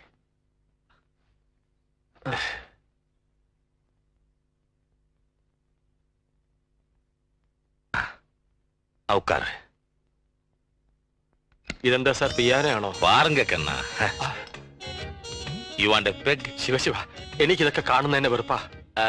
സോറി. നാം നനച്ച് സായിപ്പിനോട് ജീവിച്ച ആളാവുമ്പോ സോറി സാറിന് തെറ്റി. മലയാളിൽ വെച്ച് മദ്യഷാപ്പ് നടത്തിയ മൂന്ന് പേരെ തല്ലിയവന എന്റെ ബർക്കിരി സാഹിബ്. ഓഹോ. മദ്യവിരുദ്ധ പ്രക്ഷോഭണം നടത്തി അവിടെ ജയിലിൽ കിടന്നവനായി ഞാൻ. മന്നിച്ചിരുന്നു. ഇറ്റ്സ് നാനും വലിയ മദ്യവിരോധിയായിരുന്നു. ബട്ട് മൂന്ന് വർഷത്തേക്ക് മുന്നാടി ഞാൻ സ്റ്റാർട്ട് பண்ணியாச்சு இந்த ഹോട്ടലോ? അല്ല തണ്ണിയടി. ഓഹോ. ஓஹோ ഒരു ஒரு ഉള്ളൂ. അവളാണ് ഇപ്പോ എന്റെ നെഞ്ചത്തെ കിള്ളിക്കിളി എടുത്തോണ്ടിരിക്കുന്നത്. മലയാളത്തിൽ പേശുമ്പോ ഓ സോറി ആ. മൂന്ന് വർഷം മുമ്പ് അവിടെ കല്യാണം നിശ്ചയിച്ചത് ഒരു ആക്സിഡന്റ് അവൾ ഓടിച്ച മാരുതി ഒരു ലോറിയിലിടിച്ചു ഓഹോ. കാൽ തളർന്നുപോയി കല്യാണ പയ്യൻ കല്യാണം പണ്ണാമേ പോയിട്ടേ ആനന്ദ് അപ്പടിയാ. സാർ എന്നോട് പറഞ്ഞു അഴുകാതെ എന്ന്. ഞാനിപ്പോ സാറിനോട് പറയുന്നു അഴുകാതെ സാർ എനിക്ക് എത്രയും പെട്ടെന്ന് ആ പാവത്തിനെ കാണണം. ഒരു വരൂ കാണാം.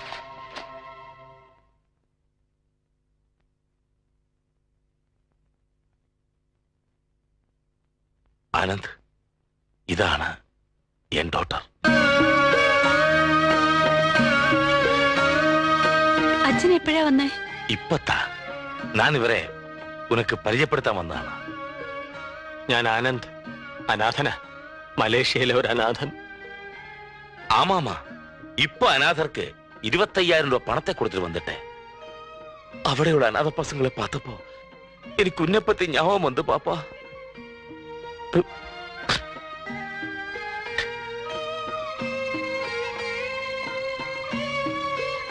கடவுள் எதுக்கு பாப்பா?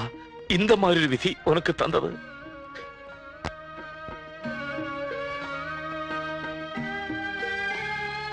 சார் நீங்க வந்தேன் ஒரு காரியம் பண்ணட்டே ஆனந்த் என் பாப்பாவை பாரு.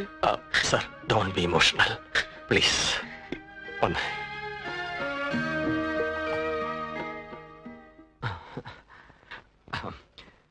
സാർ സൈക്കോളജി പഠിച്ചിട്ടുണ്ടോ? ഏ? ഉണ്ടോ ഇല്ലയോ? അത് പറയൂ. ഇല്ല. എന്നാ ഞാൻ പഠിച്ചിട്ടുണ്ട്. സാർ ഇരിക്കൂ.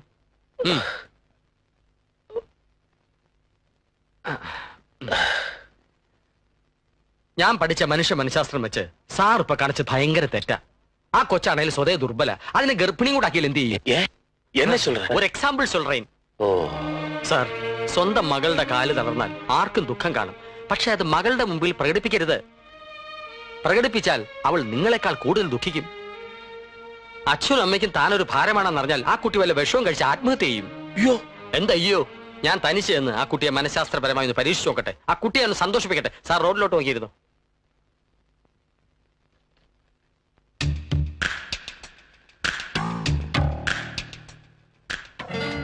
ഒരു കാര്യം ചോദിക്കാൻ മറന്നു. നമ്മൾ ഇതിനു മുമ്പ് എവിടെ വെച്ചെങ്കിലും തമ്മി കണ്ടിട്ടുണ്ടോ?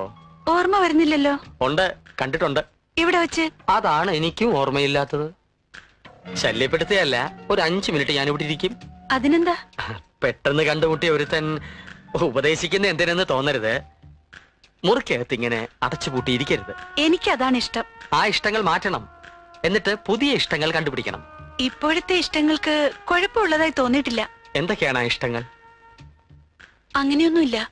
എന്നോട് പറയില്ലായിരിക്കും. അതല്ല. പിന്നെ? പുസ്തകങ്ങളാണ് എന്റെ ഫ്രണ്ട്സ്. ഓഹോ എങ്ങനെയുള്ള പുസ്തകങ്ങൾ? കവിതയൊക്കെ എനിക്കിഷ്ടമാ തന്നെയോ? എനിക്ക് തോന്നി നമ്മൾ തമ്മിൽ പൊതുവായി പല ഇഷ്ടാനിഷ്ടങ്ങളുള്ളവരാണെന്ന്. കവിത എന്റെയും ജീവനാണ്. ആഗസ്റ്റ് മുതൽ നവംബർ വരെ മലയായിൽ ഭയങ്കര മഴയാണ്. ആ സമയത്തൊക്കെ ഞാനിരുന്ന് ഒരേ എഴുത്താണ് കവിത. ഇരുൾ മേഘങ്ങൾ വെള്ളിടികൾ പുതുമഴയിൽ കിളിർക്കുന്ന പൂച്ചെടികൾ. ആ സീസണിൽ എന്നിലെ കവിക്ക് എന്തും വിഷയങ്ങളാണ്. എന്റെ കവിത വായിച്ച് ബെർക്കിലി സാഹിബ് പൊട്ടി പൊട്ടി കരഞ്ഞിട്ടുണ്ട്. ഓ ദയനീയം. ജീവിതമാമൻ നൗക പ്രക്ഷുബ്ധ സാഗരത്തിൽ ആടിയുലയവേ വന്നു മനഃശാന്തിയേകുവാൻ ഒരു കുളിർ ചന്ദ്രിക കണക്കയേ നീയൂ.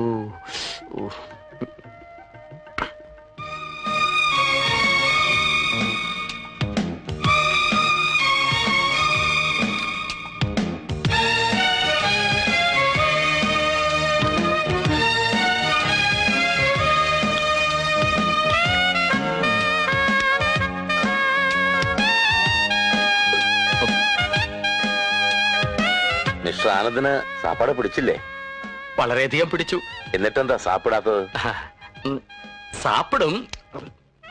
കവികൾ പൊതുവെ ഭക്ഷണപ്രിയരല്ലോ ഒരു ചായയും രണ്ട് ബീഡിക്കുറ്റിയും അതാ ഞങ്ങൾക്ക് ഏറെ ഇഷ്ടം.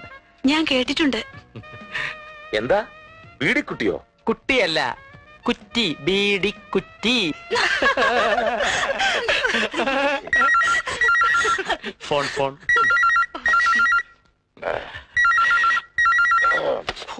മുളക് hello yes M D Purushothama here ஆ மானேரா என்ன குப்புசாமி யாரு எலக்கனா அ- அவன் அப்படி சொல்லியாச்சா சே அந்த ஏமாளி பசங்க அவனுக்கு பாட்டு கிட்டிலாம் கொடுத்துட்டு கடைசியில் இப்படி ஆச்சா ஆ, ரெண்டு லட்சம் தானே கொடுக்கணும் அதுக்கு என்ன கொடுக்கலாமே ஏ குப்பசாமி அவன் தண்டு வெயிட் பண்ண சொல்லு. ஏ புறம்போக்கு நான் சொன்ன சொல்லு. முடியாது. அடுத்த வாரம் தான் கொடுக்க முடியும். என்ன வேணும் பண்ண சொல்லு. இடியட் ஏய் நின்ன இல்லப்பா. அந்த திருட்டு பயல. ஆ போன் கட் பண்ணு.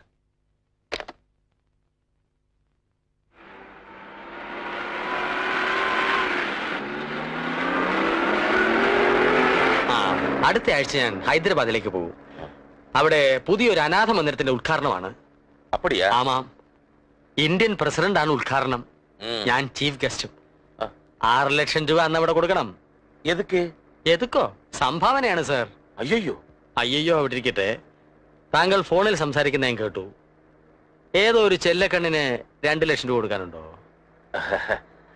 ചെല്ലക്കണ്ണ് വന്ന് ബാങ്ക് മാനേജർ ഹോട്ടൽ ലോണിന്റെ ഇൻസ്റ്റാൾമെന്റ് ആണ്. രണ്ട് ലക്ഷം ഞാൻ തരാം. അയ്യോ അത് വേണ്ട. നോക്കൂ സാർ എന്നെ ഒരു അന്യനായിട്ട് കാണരുത്. ഹൈദരാബാദിൽ ആറ് ലക്ഷം ചുമ്മാ റൂമിലിരിക്കുകയല്ലേ? അതിൽ നിന്ന് രണ്ട് ലക്ഷം എനിക്ക് അടുത്ത ആഴ്ച തിരിച്ചു തന്നാ മതി. അയ്യോ അത് വേണ്ട മിഷാനന്ദ് പ്ലീസ് സാർ അല്ലെങ്കിൽ ആ ഫോൺ സംസാരം ഞാൻ കേൾക്കാൻ പാടില്ലായിരുന്നു. കേട്ട സ്ഥിതിക്ക് രണ്ടു ലക്ഷം ഞാൻ തന്നില്ലെങ്കിൽ എനിക്ക് ഉറക്കം വരില്ല. അല്ല അത് don't say no please. Please sir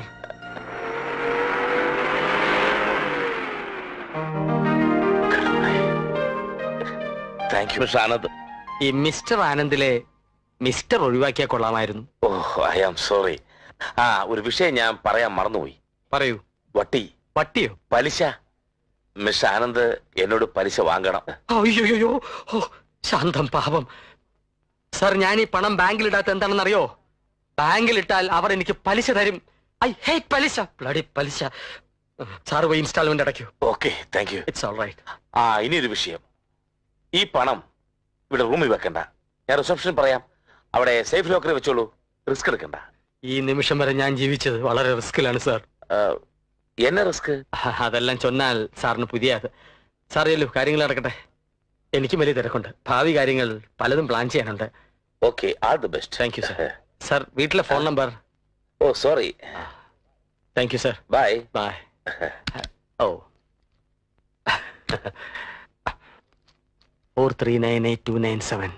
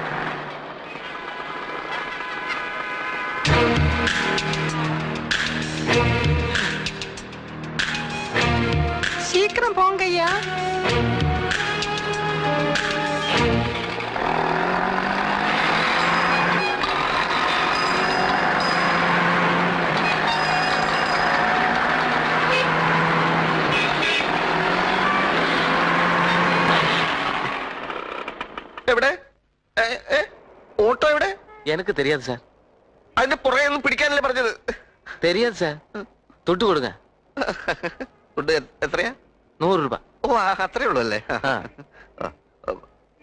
അഞ്ഞൂറ് രൂപയുടെ ചേഞ്ച് ഉണ്ടോ ഇല്ല സാർ ഓ, ഇല്ല എന്നാ ഞാൻ എൻ്റെ ഒരു പരിചയക്കാരനുണ്ട് ഇവിടെ അവിടെ ചെന്നിട്ട് ഞാനിപ്പോ മാറ്റിയിട്ട് ഇപ്പൊ വരാം ഇപ്പൊ വരാം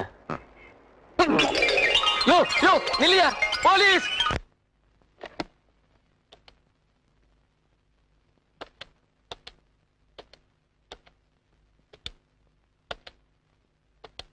അമ്മേ ഇത് ആനന്ദാണ് ഓ ഒന്നുമില്ല.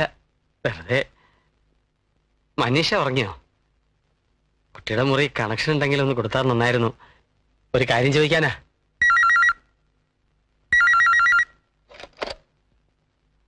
ആ മനീഷ ഇത് ആനന്ദാണ് ഞാൻ ഉപദ്രവിക്കാണോ ഒരിക്കലും ഇല്ല. അച്ഛൻ പറഞ്ഞപ്പോഴാണ് താങ്കളെ പറ്റി കൂടുതൽ അറിഞ്ഞത്. ഏതോ ഒരാളെന്ന മട്ടിൽ ഞാൻ പെരുമാറിയിട്ടുണ്ടെങ്കിൽ ക്ഷമിക്കണം. അങ്ങനൊന്നും ചിന്തിക്കണ്ട. ഞാൻ ആരും അല്ലല്ലോ. ഈ പ്രപഞ്ചത്തിൽ എന്റേതെന്ന് പറയാൻ എന്തുണ്ട്? ഒരനാഥൻ. ആരോരുമില്ലാത്ത ഒരനാഥൻ. ആ ഞാൻ പറഞ്ഞില്ലേ നമ്മൾ തമ്മിൽ നേരത്തെ കണ്ടിട്ടുണ്ടെന്ന്? അത് നേരാണ്. എനിക്കിപ്പോ ഓർമ്മ വന്നു. ഞാൻ മനീഷയെ ഒരുപാട് തവണ കണ്ടിട്ടുണ്ട്. എവിടെ വെച്ച്? എവിടെയും വെച്ചല്ല. ഉറങ്ങാത്ത രാത്രികളിലെ എന്റെ ആയിരം ആയിരം സ്വപ്നങ്ങളിൽ അതുപോട്ടെ നേരി കണ്ടപ്പോ എന്തൊക്കെയോ പറയണമെന്നുണ്ടായിരുന്നു. ഒന്നിനും കഴിഞ്ഞില്ല. ഒരു വിങ്ങൽ എന്റെ മനസ്സിനെ ഇളക്കി മറിക്കുന്നുണ്ടായിരുന്നു. പണ്ടങ്ങോ അടച്ചു വെച്ച എന്റെ തൂലിക ഞാൻ അറിയാതെ പുറത്തെടുത്തു. എന്തൊക്കെയോ എഴുതി. കവിതയല്ല. ഇഫ് യു ഡോണ്ട് മൈൻഡ് ഞാൻ അതൊന്ന് ചൊല്ലിക്കോട്ടെ? എന്താ ഒന്നും മിണ്ടാത്തെ? അനുവദിച്ചില്ലേലും ഞാൻ ചൊല്ലും. കേൾക്കൂ. നിലവും കർമ്മങ്ങളും അറിയും. നിഖിലം നിൻ ലാവണ്യങ്ങൾ. അതിൽ അണ്ടകടാകമൊതുക്കി ആത്മാവ് പൊരുന്നയിരുന്നു പഴനാടൻ ശീലിൻ തോണിയിൽ ഒഴുകി ഉറങ്ങിപ്പോയി ഞാൻ. ഉണരുമ്പോൾ ദേവി നിന്നുടെ നെടുവീർപ്പിൽ ഞാൻ നീന്തുന്നു. എവിടെ നിന്നിന്ദ്രൻ? കാർമുകിലെവിടെ? മുകിൽ ദുന്ധുവി എവിടെ? മയൂരച്ചിറകാടിയ മണിവർണ പീലി.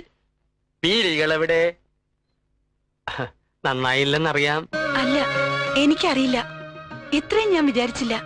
ഇങ്ങനെയൊക്കെ എഴുതാൻ സിൻസിയറായിട്ട് പറയാ it is wonderful thank you Minisha thank you എന്നിലെ കവിയെ തട്ടി ഉണർത്തിയ ചെല്ലക്കുരുന്നേ എന്നോട് ക്ഷമിക്കൂ.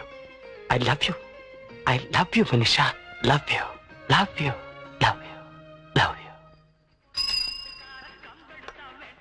நான் பார்த்துங்கடா என்ன?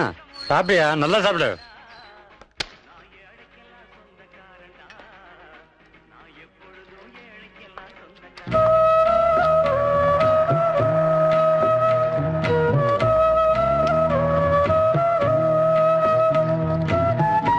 என்ன வேணும் சார்? சும்மா. சும்மா நிற்காத போங்க.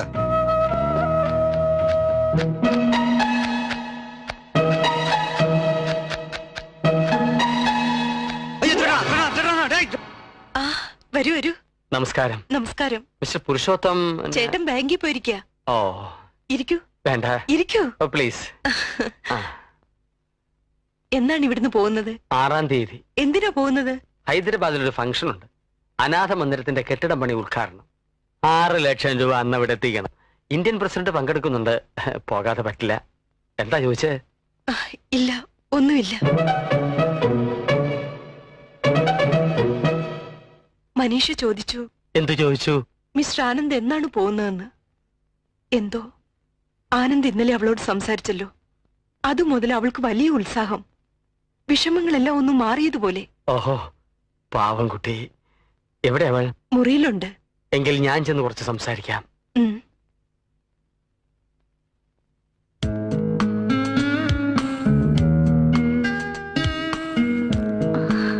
വേണ്ട കിടന്നോളൂ.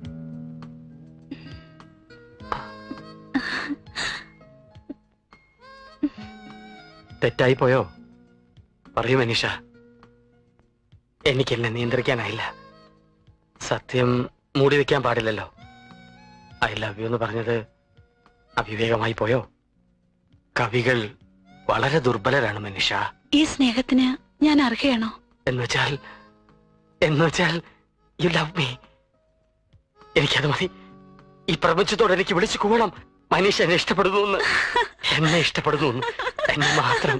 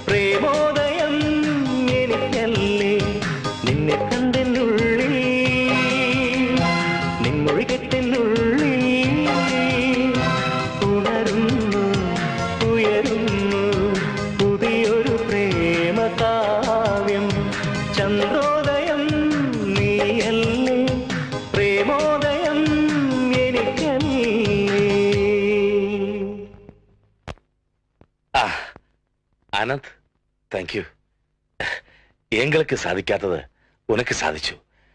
ഇവിളെ സന്തോഷിപ്പിച്ചതിന് വി അപ്രീഷിയേറ്റ് ചെയ്യൂ അയ്യോ പാടില്ല. എന്നോട് നന്ദി പറയുന്നത് മഹാപാവമാണ്. ഞാൻ ഈ കുട്ടിയെ ഇപ്പോ സന്തോഷിപ്പിച്ചു എന്ന് അങ്ങ് പറയുന്നു. ഞാനൊന്ന് ചോദിച്ചോട്ടെ? ചൊല്ലേ.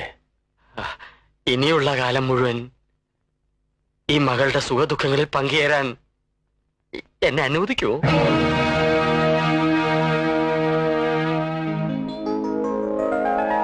എന്നെ சொல்ற ആനന്ദ് മനീഷയെ ഞാൻ വിവാഹം കഴിക്കാൻ ആഗ്രഹിക്കുന്നു മനീഷയെ ഞാൻ വിവാഹം കഴിക്കാൻ ആഗ്രഹിക്കുന്നു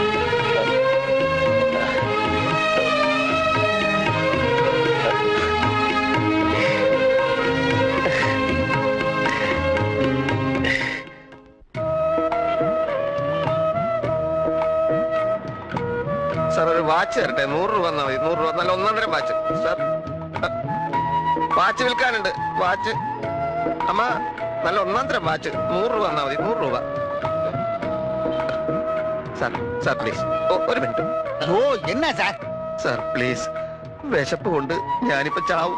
ഈ വാച്ച് എടുത്തിട്ട് ഒരു നൂറ് രൂപ കൊടുങ്ങ. വേണം ரொம்ப தொல்லையா போச்சு போ ஓ ஒரு ஐம்பது രൂപയെങ്കിലും കൊടുക്ക. அடடா ரொம்ப சீப்பா இருக்கியா வேண்டாம் ஆ ஒண்ணு சரியா அது அந்த வாட்ச் கடையில கொண்டு கொடு அங்க வாங்குவோம் எங்க அந்த பாத்திர கடை பக்கத்துல இருக்கிற வாட்ச் கடை அங்க இதை வாங்குவாங்க போ பெரிய தொல்லையா போச்சு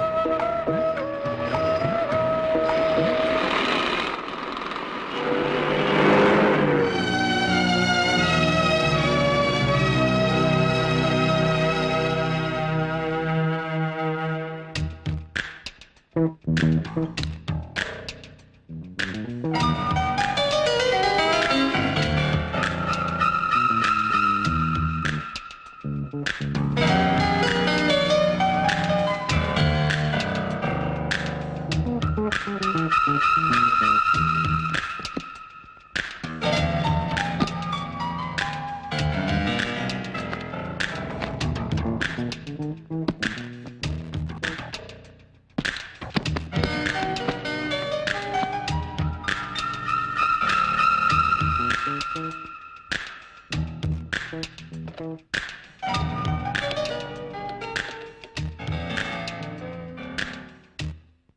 Three nine eight two nine seven ആ നമസ്കാരം. ഇത് ആനന്ദാണ്. ഒന്നുമില്ല. വെറുതെ ഒന്ന് വിളിച്ചെന്ന് മാത്രം. ഹേയ് പരിഭ്രമിക്കാനൊന്നുമില്ല. എനിക്കൊരു കുറ്റബോധമേ ഉള്ളൂ. താങ്കൾ പറഞ്ഞിരുന്നല്ലോ പണം മുറിയിൽ സൂക്ഷിക്കരുത്. റിസപ്ഷനിൽ കൊടുത്തോളൂ എന്ന് ആ ഉപദേശം ഞാൻ സ്വീകരിച്ചില്ല. അതുകൊണ്ട് എന്ത് പറ്റി? നാളെ ഹൈദരാബാദ് ഫംഗ്ഷന് കൊടുക്കാൻ വെച്ചിരുന്ന ആറ് ലക്ഷം രൂപ മുറി കയറി ആരും എടുത്തോണ്ട് പോയി. നെവർ മൈൻഡ് അപ്സെറ്റ് ആവാതിരിക്കും സർ ഏയ് ഒരിക്കലുമില്ല. ഹോട്ടൽ ജോലിക്കാർ ഒരിക്കലും അങ്ങനെ ചെയ്യില്ല. അബദ്ധം പറ്റിയത് എനിക്കാണ്. ഞാൻ പുറത്തു പോകുമ്പോ മുറി പൂട്ടിയിരുന്നില്ല. ആനന്ദ് ഞാൻ ശീഘ്രം അങ്ങ് വരലാം. വേണ്ട വരണ്ട സർ. നാളെ രാവിലെ കാണാം. അല്ല കാലയിലെ ഫ്ലൈറ്റിന് ഷാനന്ദിന് ഹൈദരാബാദിന് പോകണ്ടേ? അതിപ്പോ എന്ത് ചെയ്യാൻ? എന്റെ ജീവിതത്തിൽ ആദ്യമായിട്ടാണ് പറഞ്ഞ വാക്ക് ലംഘിക്കേണ്ടി വരുന്നത്.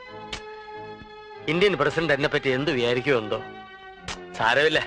ഒരു ടെലിഗ്രാം അടിച്ചു കളയും. അല്ലേ സാറേ? அது வேண்டாம் மிஸ் ஆனந்த் நான் வந்ததுக்கு அப்புறம் டிசைட் பண்ணலாம் വേണ്ട സാർ പ്ലീസ് ഈ രാത്രിയിൽ സാർ ഇങ്ങോട്ട് വരണ്ട no you please wait for me miss Anand அஹ், நான் வரேன்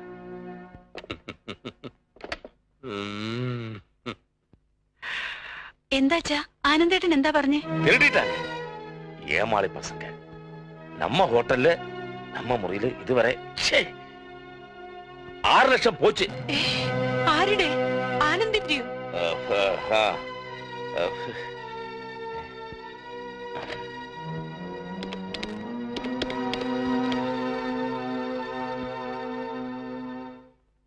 ஹலோ. புருஷோத்தமா பேசுறேன். இந்த நைட்டில் உங்களை கூப்பிடுறதுக்கு மன்னிச்சிருங்க எனக்கு உங்களை அவசரமா பார்க்கணும். நான் அங்க வரேன். ஓகே. செல்லையா? வண்டி எடு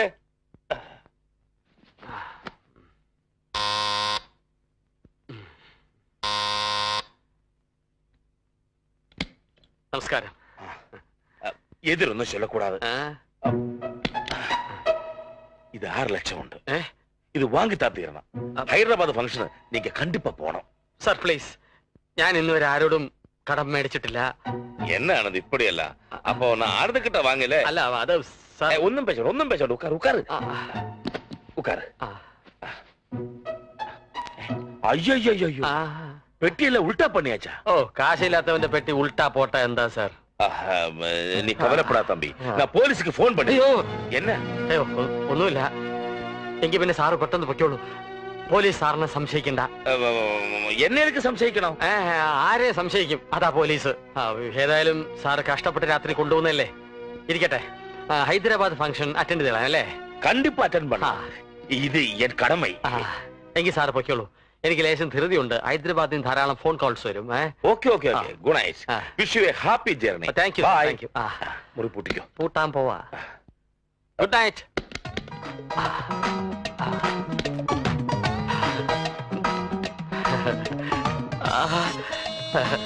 ഇതാണ് പണത്തിന്റെ ചൂണ്ടയിട്ട് പണം പിടിച്ചെടുക്കുന്ന പണി. Parassala you are great police പോരും.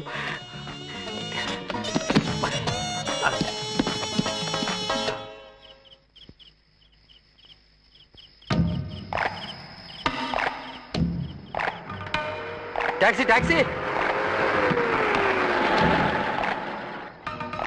Police station. Railway station പോലാമാ വണ്ടി ഷെട്ടുക്ക് പോരാ സാർ ഞാനും വരട്ടമാ വേണ്ട sir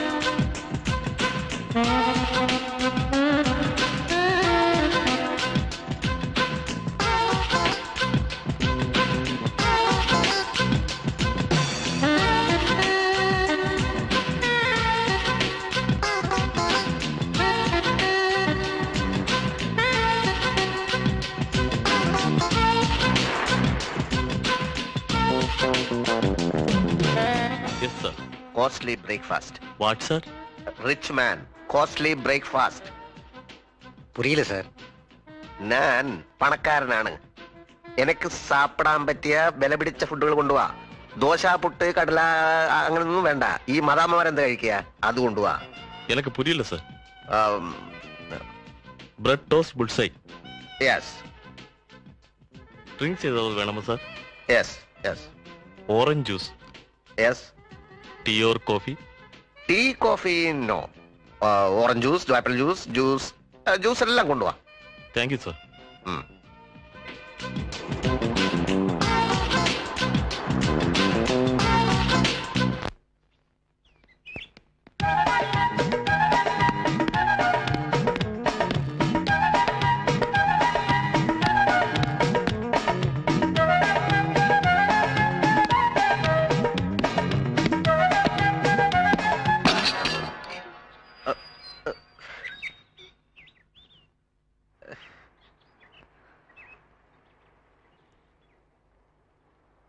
sorry, uncle. I spoiled your dress. My goodness. Don't be angry, uncle. Shall I take it? I will wash it and bring. Okay? Okay okay Then give it to me. Yes yes yes Give it to me, uncle. Okay okay Don't you get me? Okay okay What okay? ഇത് വലിയ കുരിശായല്ലോ ഭഗവാനെ uncle മലയാളിയാണോ? അതെ മോൾ മലയാളിയാണല്ലേ? അതെ അങ്കിളിന് English അറിയില്ലേ? English എനിക്ക് ഭയങ്കരമായിട്ട് അറിയാം പക്ഷെ ഞാൻ സംസാരിക്കില്ല. അതെന്താ? ഇംഗ്ലീഷിനോട് എനിക്ക് വെറുപ്പാണ്. ഇംഗ്ലീഷുകാരാണല്ലോ ഇന്ത്യ ഭരിച്ചത്. നമ്മളെ അടിമകളാക്കി. ആ വെറുപ്പാണ് എനിക്ക്. പക്ഷെ അങ്കിൾ എസ് ഓക്കെ എന്നൊക്കെ പറഞ്ഞല്ലോ. അതൊക്കെ ഇംഗ്ലീഷ് ആണോ പിന്നെ അത് മലയാളമാണോ? നീന നീ കുസൃതി വല്ലതും ഒപ്പിച്ചോ? ഒപ്പിച്ചതല്ല ഡാഡി. അറിയാതെ പറ്റിപ്പോയതാ. പന്ത് വന്ന് ബോട്ടിൽ തട്ടിയപ്പോൾ അങ്കിളുടെ കുറച്ച് സ്പോയിലായി ഓ സോറി കേട്ടോ റൂമിൽ നിന്ന് ഇറങ്ങുമ്പോൾ ഞാൻ എപ്പോഴും ഇവിടെ വാൺ ചെയ്യാറുണ്ട്. എന്ത് ചെയ്യാനാ? കുറുമ്പിച്ചിരി കൂടുതലാ. സോറി ഏത് ഭാഷക്കാരനാണെന്ന് അറിയാതെ ഞാനങ്ങ് സംസാരിക്കാൻ തുടങ്ങി. ഐ തിങ്ക് അറിയും Malayali? Yes, Daddy. But Uncle does not like English. Is it no no പിന്നെ? ഞാൻ ചുമ്മാ കേരളത്തിൽ എവിടെയാ കേരളത്തിൽ എവിടെയുമല്ല long long back oh sorry English വേണ്ടല്ലോ. ഞങ്ങൾ വർഷങ്ങളായി ബാംഗ്ലൂരിൽ സെറ്റിൽ ചെയ്ത പാർട്ടീസാ എന്താ പേര്? എന്റെ പേര് പേര് സത്യവ്രതൻ. നീന? മാട്ടുങ്കൽ സത്യവ്രതൻ. ഞാൻ ഈ ഹോട്ടലും സ്ഥലവും വിലക്ക് വാങ്ങാൻ വന്ന. ആണോ uncle? It's a very nice place uncle ഇത് വിലക്ക് വാങ്ങിച്ചാൽ നമുക്ക് എപ്പോഴും എപ്പോഴും ഇവിടെ ഒന്ന് താമസിക്കാം. അല്ലേ ഡാഡി? ഷുവർ പക്ഷേ വലിയ വില കൊടുക്കേണ്ടി വരില്ലേ? അല്ലാതെ പറ്റുമോ മുതലാളി സ്ഥലത്തില്ല. അതുകൊണ്ട് അദ്ദേഹത്തെ വെയിറ്റ് ചെയ്ത് ഞാൻ ഇവിടെ താമസിക്കുക ഞാൻ ആ പാർക്കിൽ കളിക്കാൻ പോട്ടെ ഡാഡി. ഓക്കെ ആ ദൂരെ എങ്ങും പോയി കളയരുത്. Okay daddy. ഇവിടെ വന്നേ പിന്നെയാണ്. അവൾക്ക് പഴയ ഉത്സാഹം വീണ്ടു കിട്ടിയത്. കോടികളും ലക്ഷങ്ങളും ഉണ്ടായിട്ട് എന്താ കാര്യം? മനസമാധാനമില്ലെങ്കിൽ കോടികളോ? എവിടെ? ശരിയാണ്. ഈ എന്റെ കാര്യം പറയുകയാണെങ്കിൽ തന്നെ ഒരുപാട് കോടികളുണ്ട്. പക്ഷെ മനസ്സമാധാനം ഇല്ല എന്തു പറ്റി? അത് പിന്നെ പറയാം. നിങ്ങൾക്ക് എന്താ മനസ്സമാധാനം ഇല്ലാത്തത് രണ്ടു മാസങ്ങൾക്ക് മുമ്പ് എന്റെ ഭാര്യ കിണറ്റിൽ വീണ് മരിച്ചു. ആൾമറ കെട്ടാത്ത കിണറായിരുന്നോ? അല്ല അബദ്ധത്തിൽ പറ്റിയതാണ്. ശ്രദ്ധിക്കേണ്ടതായിരുന്നു. ആര്? ഭാര്യ. അതിനെ പറഞ്ഞിട്ട് എന്താ കാര്യം? അല്ല ഇനി നിങ്ങളെങ്കിലും വീഴാതെ ശ്രദ്ധിക്കുന്നത് നല്ലതല്ലേ? ഞാൻ വീണ് കഴിഞ്ഞു മിസ്റ്റർ സത്യവ്രതൻ. എപ്പോ? ഒരു മാറാരോഗ്യത്തിന്റെ കിണറ്റിലാണ് ഞാൻ വീണത്. മനസ്സിലായില്ല. ബ്ലഡ് ക്യാൻസർ ആണ് എനിക്ക്. ഏത് നിമിഷവും മരിക്കാം. കൊച്ചിനെ അറിയിച്ചിട്ടില്ല.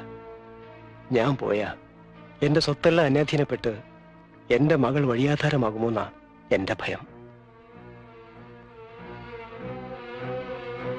തികച്ചും ന്യായമായ ഒരു ഭയമാണത്.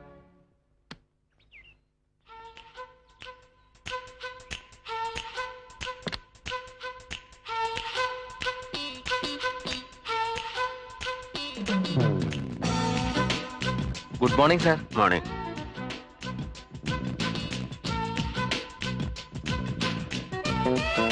hi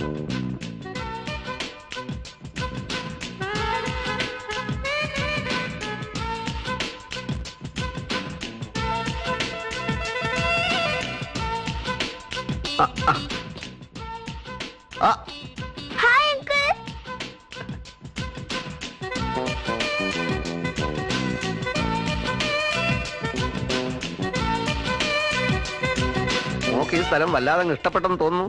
നേരാ എനിക്ക് ഇവിടെ നിന്ന് പോകണമെന്നേ ഇല്ല അങ്കിൾ. പോകരുത് ഒരിക്കലും പോകരുത്. പോകയില്ലെന്ന് അച്ഛനോട് പറ. ഞാൻ ഈ ഹോട്ടലിന് നീന ഹോട്ടൽ എന്ന് പേരിടാൻ തീരുമാനിച്ചു. എന്റെ പേരോ? അതെ. നീ എന്റെ മകളാണ്. അല്ല ഞാൻ ഡാഡിയുടെ മോളാണ്. ആയിരിക്കാം. പക്ഷെ നീ എനിക്ക് എന്റെ മകളെ പോലെ എനിക്ക് പിറക്കാതെ പോയ എന്റെ മകൾ. എന്തിനാ കരയുന്ന? പറയാം വരൂ. മോളുടെ അമ്മ കിണറ്റിൽ വീണ് മരിച്ചു അല്ലേ ഡാഡി പറഞ്ഞു? പറഞ്ഞു. ഇനിയിപ്പോ ഈ ഡാഡി എന്ന് പറയുന്ന മനുഷ്യനും വല്ലതും സംഭവിച്ചാൽ ഒന്നും സംഭവിക്കാതിരിക്കട്ടെ. എന്തോ എനിക്കൊരു ഭയം. എന്ത് സംഭവിച്ചാലും മോൾക്ക് ഞാനുണ്ട്. അച്ഛനല്ലാത്ത മറ്റൊരച്ഛൻ. മനസ്സിലായോ? ഇല്ല. വരൂ പറയാം. എല്ലാ ഓരോ നിമിത്തങ്ങളാണ്. ഞാൻ ഈ ഹോട്ടൽ വാങ്ങാൻ വന്നു. ഈ ഹോട്ടലിനെ അങ്ങേയറ്റം സ്നേഹിക്കുന്ന മോളെ കണ്ടു. എനിക്ക് ഹോട്ടൽ ഇപ്പൊ വേണ്ട. ഞാൻ എന്റെ മോളുടെ പേർക്ക് ഈ ഹോട്ടൽ വാങ്ങുകയാണ്. ഒരാഴ്ചക്കകം അഡ്വാൻസ് കൊടുക്കും. ഒരു മാസത്തിനകം രജിസ്റ്റർ ചെയ്യും. അച്ഛനോട് പറഞ്ഞേക്കും.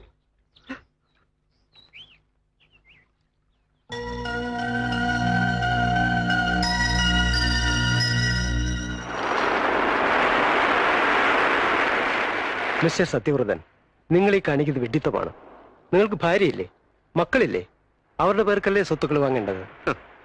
അവരുടെ പേർക്ക് കോടിക്കണക്കിനുണ്ട് സർ. കൂട്ടത്തിൽ ഇതും കൂടെ ഇരിക്കട്ടെ എന്ന് വെച്ചൂടെ? ഇല്ല എന്നെ തടയരുത്. ഇന്നോ നാളെയോ ഒന്ന് വെച്ച് മരിക്കാൻ നടക്കുകയാണ് നിങ്ങൾ. നിങ്ങളുടെ മകൾക്ക് ഒരു രക്ഷിതാവ് വേണ്ടേ? പറയൂ. നിങ്ങൾ സന്തോഷത്തോടെ മരിക്കണം. നീനയുടെ കാര്യങ്ങൾ എന്റെ കയ്യിൽ സുരക്ഷിതമാണെന്ന പൂർണ വിശ്വാസത്തോടെ മരിക്കണം. അതിനാണ് നിങ്ങൾ ജീവിച്ചിരിക്കുമ്പോ തന്നെ അവളുടെ പേർക്ക് സ്വത്തുക്കൾ വാങ്ങുന്നത്. എനിക്ക് മനസ്സിലാകുന്നില്ല. എനിക്ക് മനസ്സിലായി കഴിഞ്ഞിരിക്കുന്നു. നിങ്ങളൊരു പ്രത്യേക മനുഷ്യനാണെന്ന് തോന്നുന്നു. അല്ല മനുഷ്യത്തുള്ള ഒരു മനുഷ്യനാണ് ഞാൻ. ഓക്കെ. എന്നാണ് അഡ്വാൻസ് കൊടുക്കുന്നത്? എപ്പോ വേണമെങ്കിലും കൊടുക്കും. എത്രയാണ് അഡ്വാൻസ്? ഒരു ഇരുപത് ലക്ഷം കൊടുത്തേക്കാം. എന്റെ ഒരു സന്തോഷത്തിന്. പകുതി പത്ത് ലക്ഷം ഞാൻ തരാം. പത്ത് ലക്ഷം. സാർ എന്നെ പരീക്ഷിക്കുകയാണോ? നോക്കൂ നമ്മൾ രണ്ടുപേരും ഒരുമിച്ച് ഇവിടെ ഇരിക്കുന്നു. അച്ഛനോടല്ല അങ്കിളിനോടാണ് അവൾ ഐസ്ക്രീം വേണോന്ന് ചോദിക്കുന്നത്. പിള്ളയിൽ കള്ളമില്ല സാർ. അവൾ എന്റെ ഓമനയാണ്. നീനമോളെ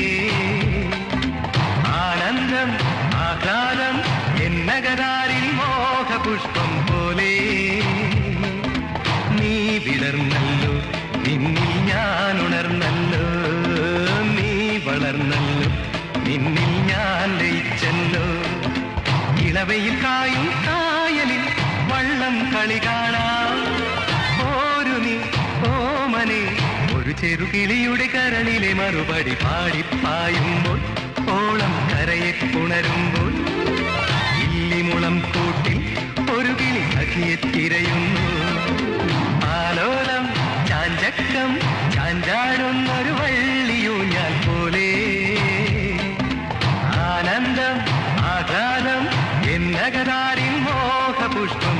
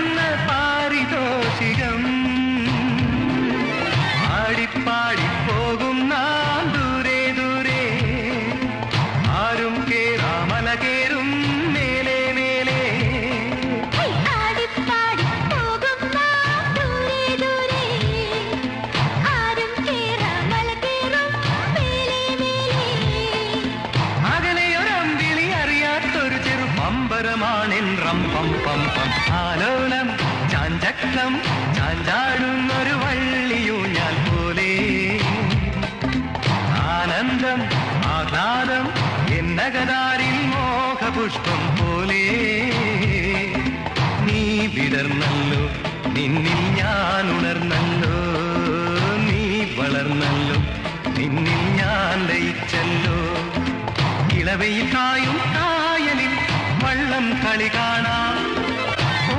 നീ ഓമനെ ഒരു ചെറുകിളിയുടെ കരളിലെ മറുപടി പാടിപ്പായുമ്പോൾ ഓളം കരയിൽ ഉണരുമ്പോൾ ഇല്ലിമുളം കൂട്ടിൽ ഒരു കിളി സഖിയെ തിരയുന്നു.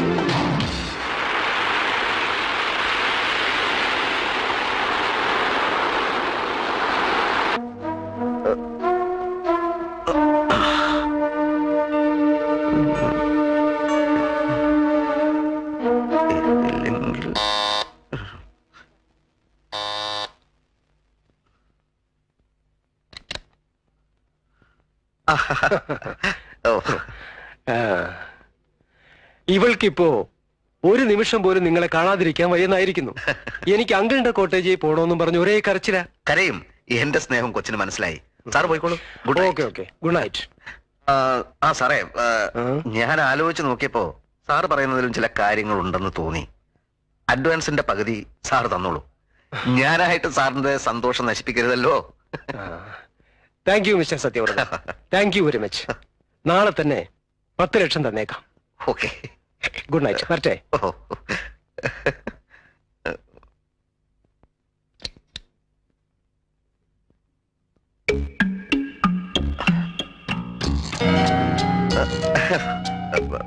വരൂ ഇരിക്കും.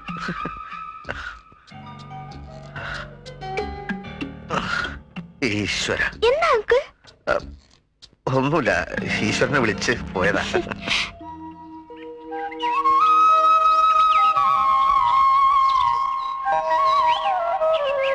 എന്റെ പെട്ടി പോയേ. എന്റെ പണം പോയേ. എന്റെ പെട്ടി പോയേ.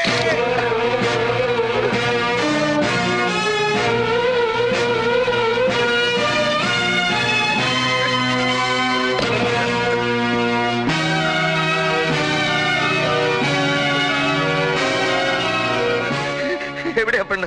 എവിടെ? കോട്ടേജ് ഫോർട്ടി സിക്സിലെ ആൾ എവിടെ അവർ നൈറ്റിലെ കാലിപ്പണി പണി പോയച്ചു സാർ എന്റെ ഭഗവാനെ. എന്നാ സാർ എന്റെ പണം കട്ടി പണമാ? ഒന്നുമില്ല.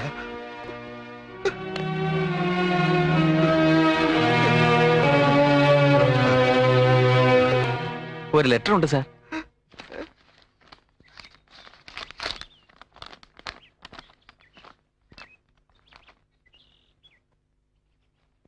പ്രിയപ്പെട്ട അങ്കിൾ അങ്കിൾ ഉറങ്ങിയപ്പോൾ ഞാൻ പതുക്കെ എഴുന്നേറ്റു. പുറത്ത് അച്ഛൻ കാത്തു നിൽക്കുന്നുണ്ടായിരുന്നു. ഞാൻ വാതിൽ തുറന്നു. അച്ഛൻ അകത്തേക്ക് വന്നു. അങ്കിളുടെ പെട്ടികളെടുത്ത് മുറി കൊണ്ടുപോയി. തുറന്നു നോക്കാനൊന്നും നേരം കിട്ടിയില്ല. പെട്ടിയിൽ പണം ഉണ്ടായിരിക്കുമല്ലോ അല്ലേ? ഞങ്ങൾ പോകുന്നു. അച്ഛന് ക്യാൻസർ ആണെന്ന് പറഞ്ഞത് ചുമ്മാതാ. ബിസിനസ് പൊളിഞ്ഞ് നട്ടം തിരിഞ്ഞ് നിൽക്കുമായിരുന്നു അതൊക്കെ ഒന്ന് ശരിയാക്കണം. അങ്കിളും ഒരു ഫ്രോഡാണെന്ന് അച്ഛൻ പറയുന്നത്. നേരാണോ അങ്കിൾ? അതുകൊണ്ടാ ഇങ്ങനെ ചെയ്യേണ്ടി വന്നത്. Okay good bye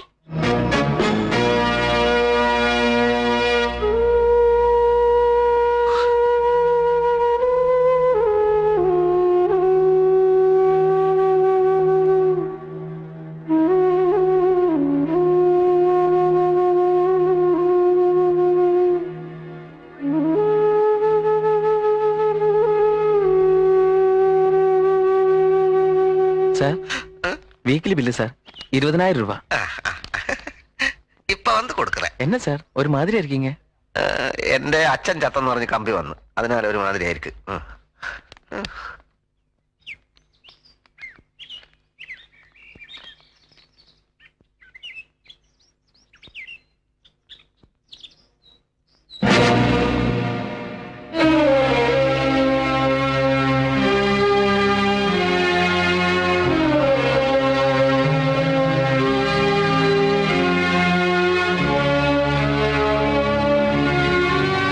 അടിപിടിക്കോ ബഹളത്തിനോ വന്നതല്ല. മരുന്ന് വാങ്ങാൻ കാശില്ല. നിന്നെ അന്വേഷിക്കാത്ത സ്ഥലമില്ല. പട്ടിണിയാണ് ധർമ്മ. ഒരൻപത് രൂപ സാധിച്ചാൽ നൂറ് അത്രേ വേണ്ടൂ. നീ തരണം. ഞാൻ ചെയ്തത് ചതിയാണ്. കൊടും ചതി. ഇങ്ങനെ പരസ്പരം ചതിച്ച് ചതിച്ച് നമ്മുടെ വർഗം തന്നെ നാശോന്മുഖമായിക്കൊണ്ടിരിക്കുകയാണ്. എല്ലാം പോയി. മൂഷിക സ്ത്രീ പിന്നെയും മൂഷിക സ്ത്രീയായെന്ന് പറഞ്ഞതുപോലെ ഉടുതുണിക്ക് മറുതുണി ഇല്ലാതെ നിൽക്കുകയാണ് ഞാൻ. പത്ത് വയസ്സ് പോലും തികഞ്ഞിട്ടില്ലാത്ത ഒരു കൊച്ചു പിശാച്ച് എല്ലാം പറ്റിച്ചുകൊണ്ട് പോയി അവളുടെ തലമുറ വളർന്നു വരുന്നതിന് മുമ്പ് നമ്മൾ വേറെ വല്ല പണിയും നോക്കുന്നതാണ് നല്ലത്. ആ പണം നിന്റേലായിരുന്നെങ്കിൽ നിനക്കെങ്കിലും ഒരു നല്ല ജീവിതം കിട്ടിയനെ. ഞാനാ തെറ്റുകാരൻ. ഞാനാ തെറ്റുകാരൻ. വികാരത്തെ നിയന്ത്രിക്കൂ ധർമ്മ. ആത്മവിശ്വാസം കൈവിടരുത്. ഈ രാജ്യത്ത് ഇനിയും കറൻസി നോട്ടുകൾ അച്ചടിക്കുന്ന യന്ത്രങ്ങൾ പ്രവർത്തിക്കുമെങ്കിൽ നമ്മൾ തോൽക്കില്ല. ഒരു ശക്തിക്ക് നമ്മളെ തോൽപ്പിക്കാൻ ഒക്കുകയല്ല. ഇത് സത്യം. ഇവിടെ ഇപ്പൊ ഇരുപതിനായിരം രൂപ കൊടുക്കണം. അത്രയല്ലേ ഉള്ളൂ. സാരമില്ല. ഞാൻ കൊടുക്കാം. വാ. അയ്യോ ആ കാണുന്ന എന്താ? അതാണ് മെയിൻ ഗേറ്റ് ഓടിക്കോ. വാടാ.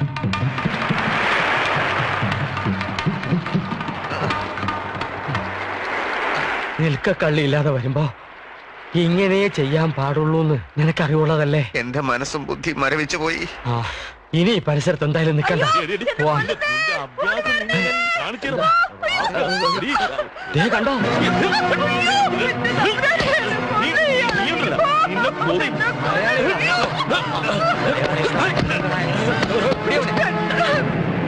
പെണ്ണും പെണ്ണെ തല്ലാൻ കേരളത്തിൽ എങ്ങും സ്ഥലം ഇല്ലാഞ്ഞിട്ടാണോ താൻ മദ്രാസ് കടപ്പുറത്ത് കൊണ്ടിട്ട് തല്ലുന്ന?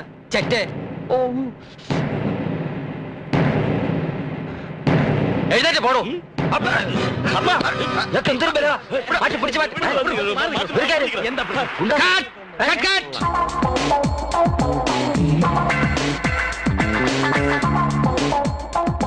അയ്യോ ഇവനാ പഴയ ചാൻസ് അല്ലേ നമസ്കാരം. സിപ്പിച്ചേട്ടനും ചൊപ്രച്ചേട്ടനും ഇവിടെ? ലൊക്കേഷൻ നോക്കാൻ ഇറങ്ങിയതായിരിക്കും. ഇവർ രണ്ടുപേരും എന്റെ ഗുരുക്കന്മാരാ.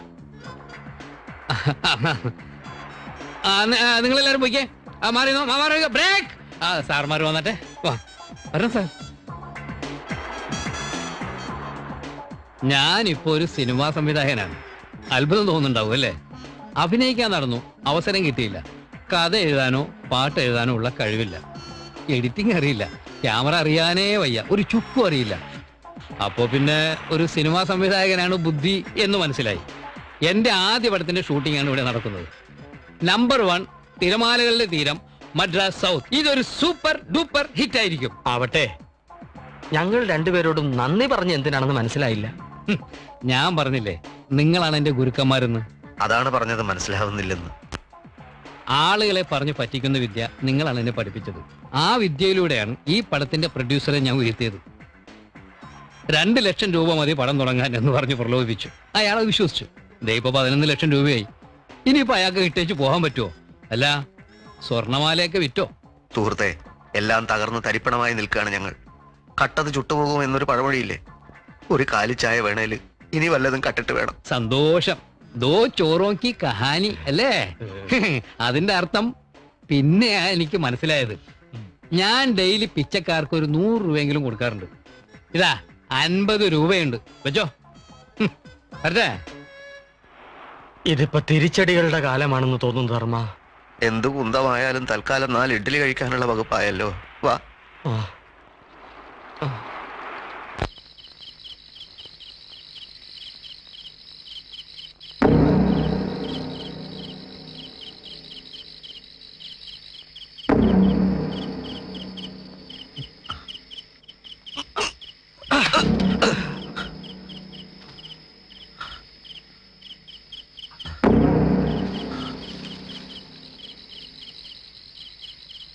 നീ ഗൂർഖയെ മാനേജ് ചെയ്തോണം.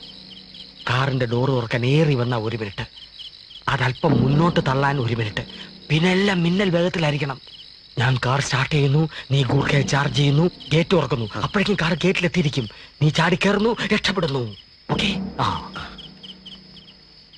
എന്താടാ നീ ആലോചിക്കുന്നത് ഒന്നുമില്ല. എനിക്കറിയാം നേർക്ക് നേരെയുള്ള മോഷണം നിനക്ക് താല്പര്യമില്ലെന്ന്. പക്ഷെ തൽക്കാലം ആ ചിന്ത വിട്ടുകള. ഇതോടുകൂടി നമ്മൾ ഈ ഏർപ്പാട് അവസാനിപ്പിക്കുകയാണ്.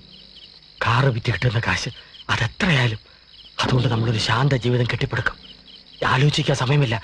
ഓരോ സെക്കൻഡും വിലപ്പെട്ടതാണ്. കമോൺ ആക്ഷൻ സ്റ്റാർട്ട്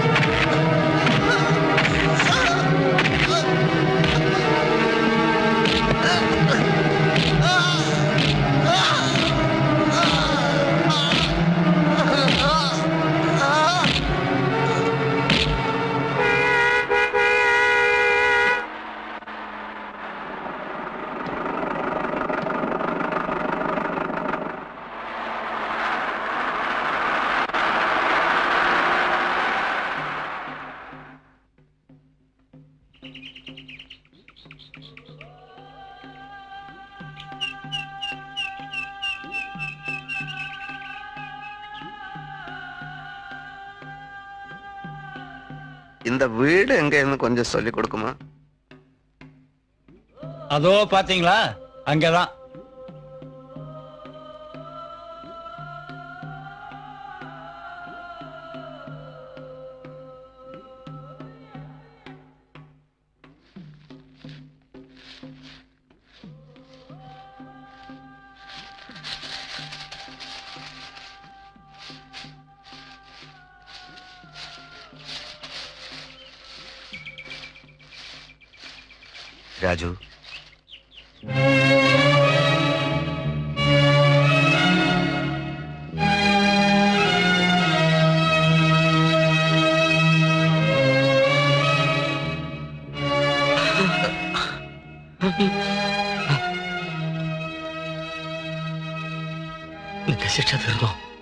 മാസം കിടക്കേണ്ടിയിരുന്നത്.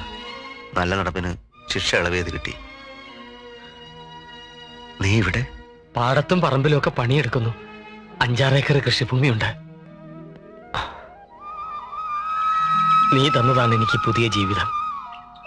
പോലീസുകാർ അടിച്ചു ചതച്ചപ്പോ നീ എന്റെ പേര് പറഞ്ഞില്ല. എല്ലാ കുറ്റവും സ്വയം ഏറ്റെടുത്ത് നീ ജയിലിൽ പോയി. നിന്റെ പേര് പറഞ്ഞാൽ എന്റെ ശിക്ഷയിൽ ഇളവ് കിട്ടൂ. അതുകൊണ്ട് അതൊരു വലിയ ത്യാഗമൊന്നുമല്ല. ഈ കൃഷിസ്ഥലമൊക്കെ എങ്ങനെ ഒപ്പിച്ചു? എല്ലാം അങ്ങനെ അങ്ങ് സംഭവിച്ചു. ഒരടിത്തറ ഉണ്ടാക്കാൻ ഒരാൾ എന്നെ സഹായിച്ചിരുന്നു. ഇതൊന്നും നീ കത്തിൽ എഴുതിയിരുന്നില്ലല്ലോ. ഇത് മാത്രമല്ല പലതും എഴുതിയില്ല. നിന്നെ ഒന്ന് അത്ഭുതപ്പെടുത്തണമെന്ന് എനിക്ക് ആഗ്രഹം ഉണ്ടായിരുന്നു ചേട്ടാ. അതേതാ ഒരു സ്ത്രീ ശബ്ദം? അതാണ് നീ കാണുന്ന രണ്ടാമത്തെ അത്ഭുതം. പത്രം എവിടെയാ വെച്ചത്?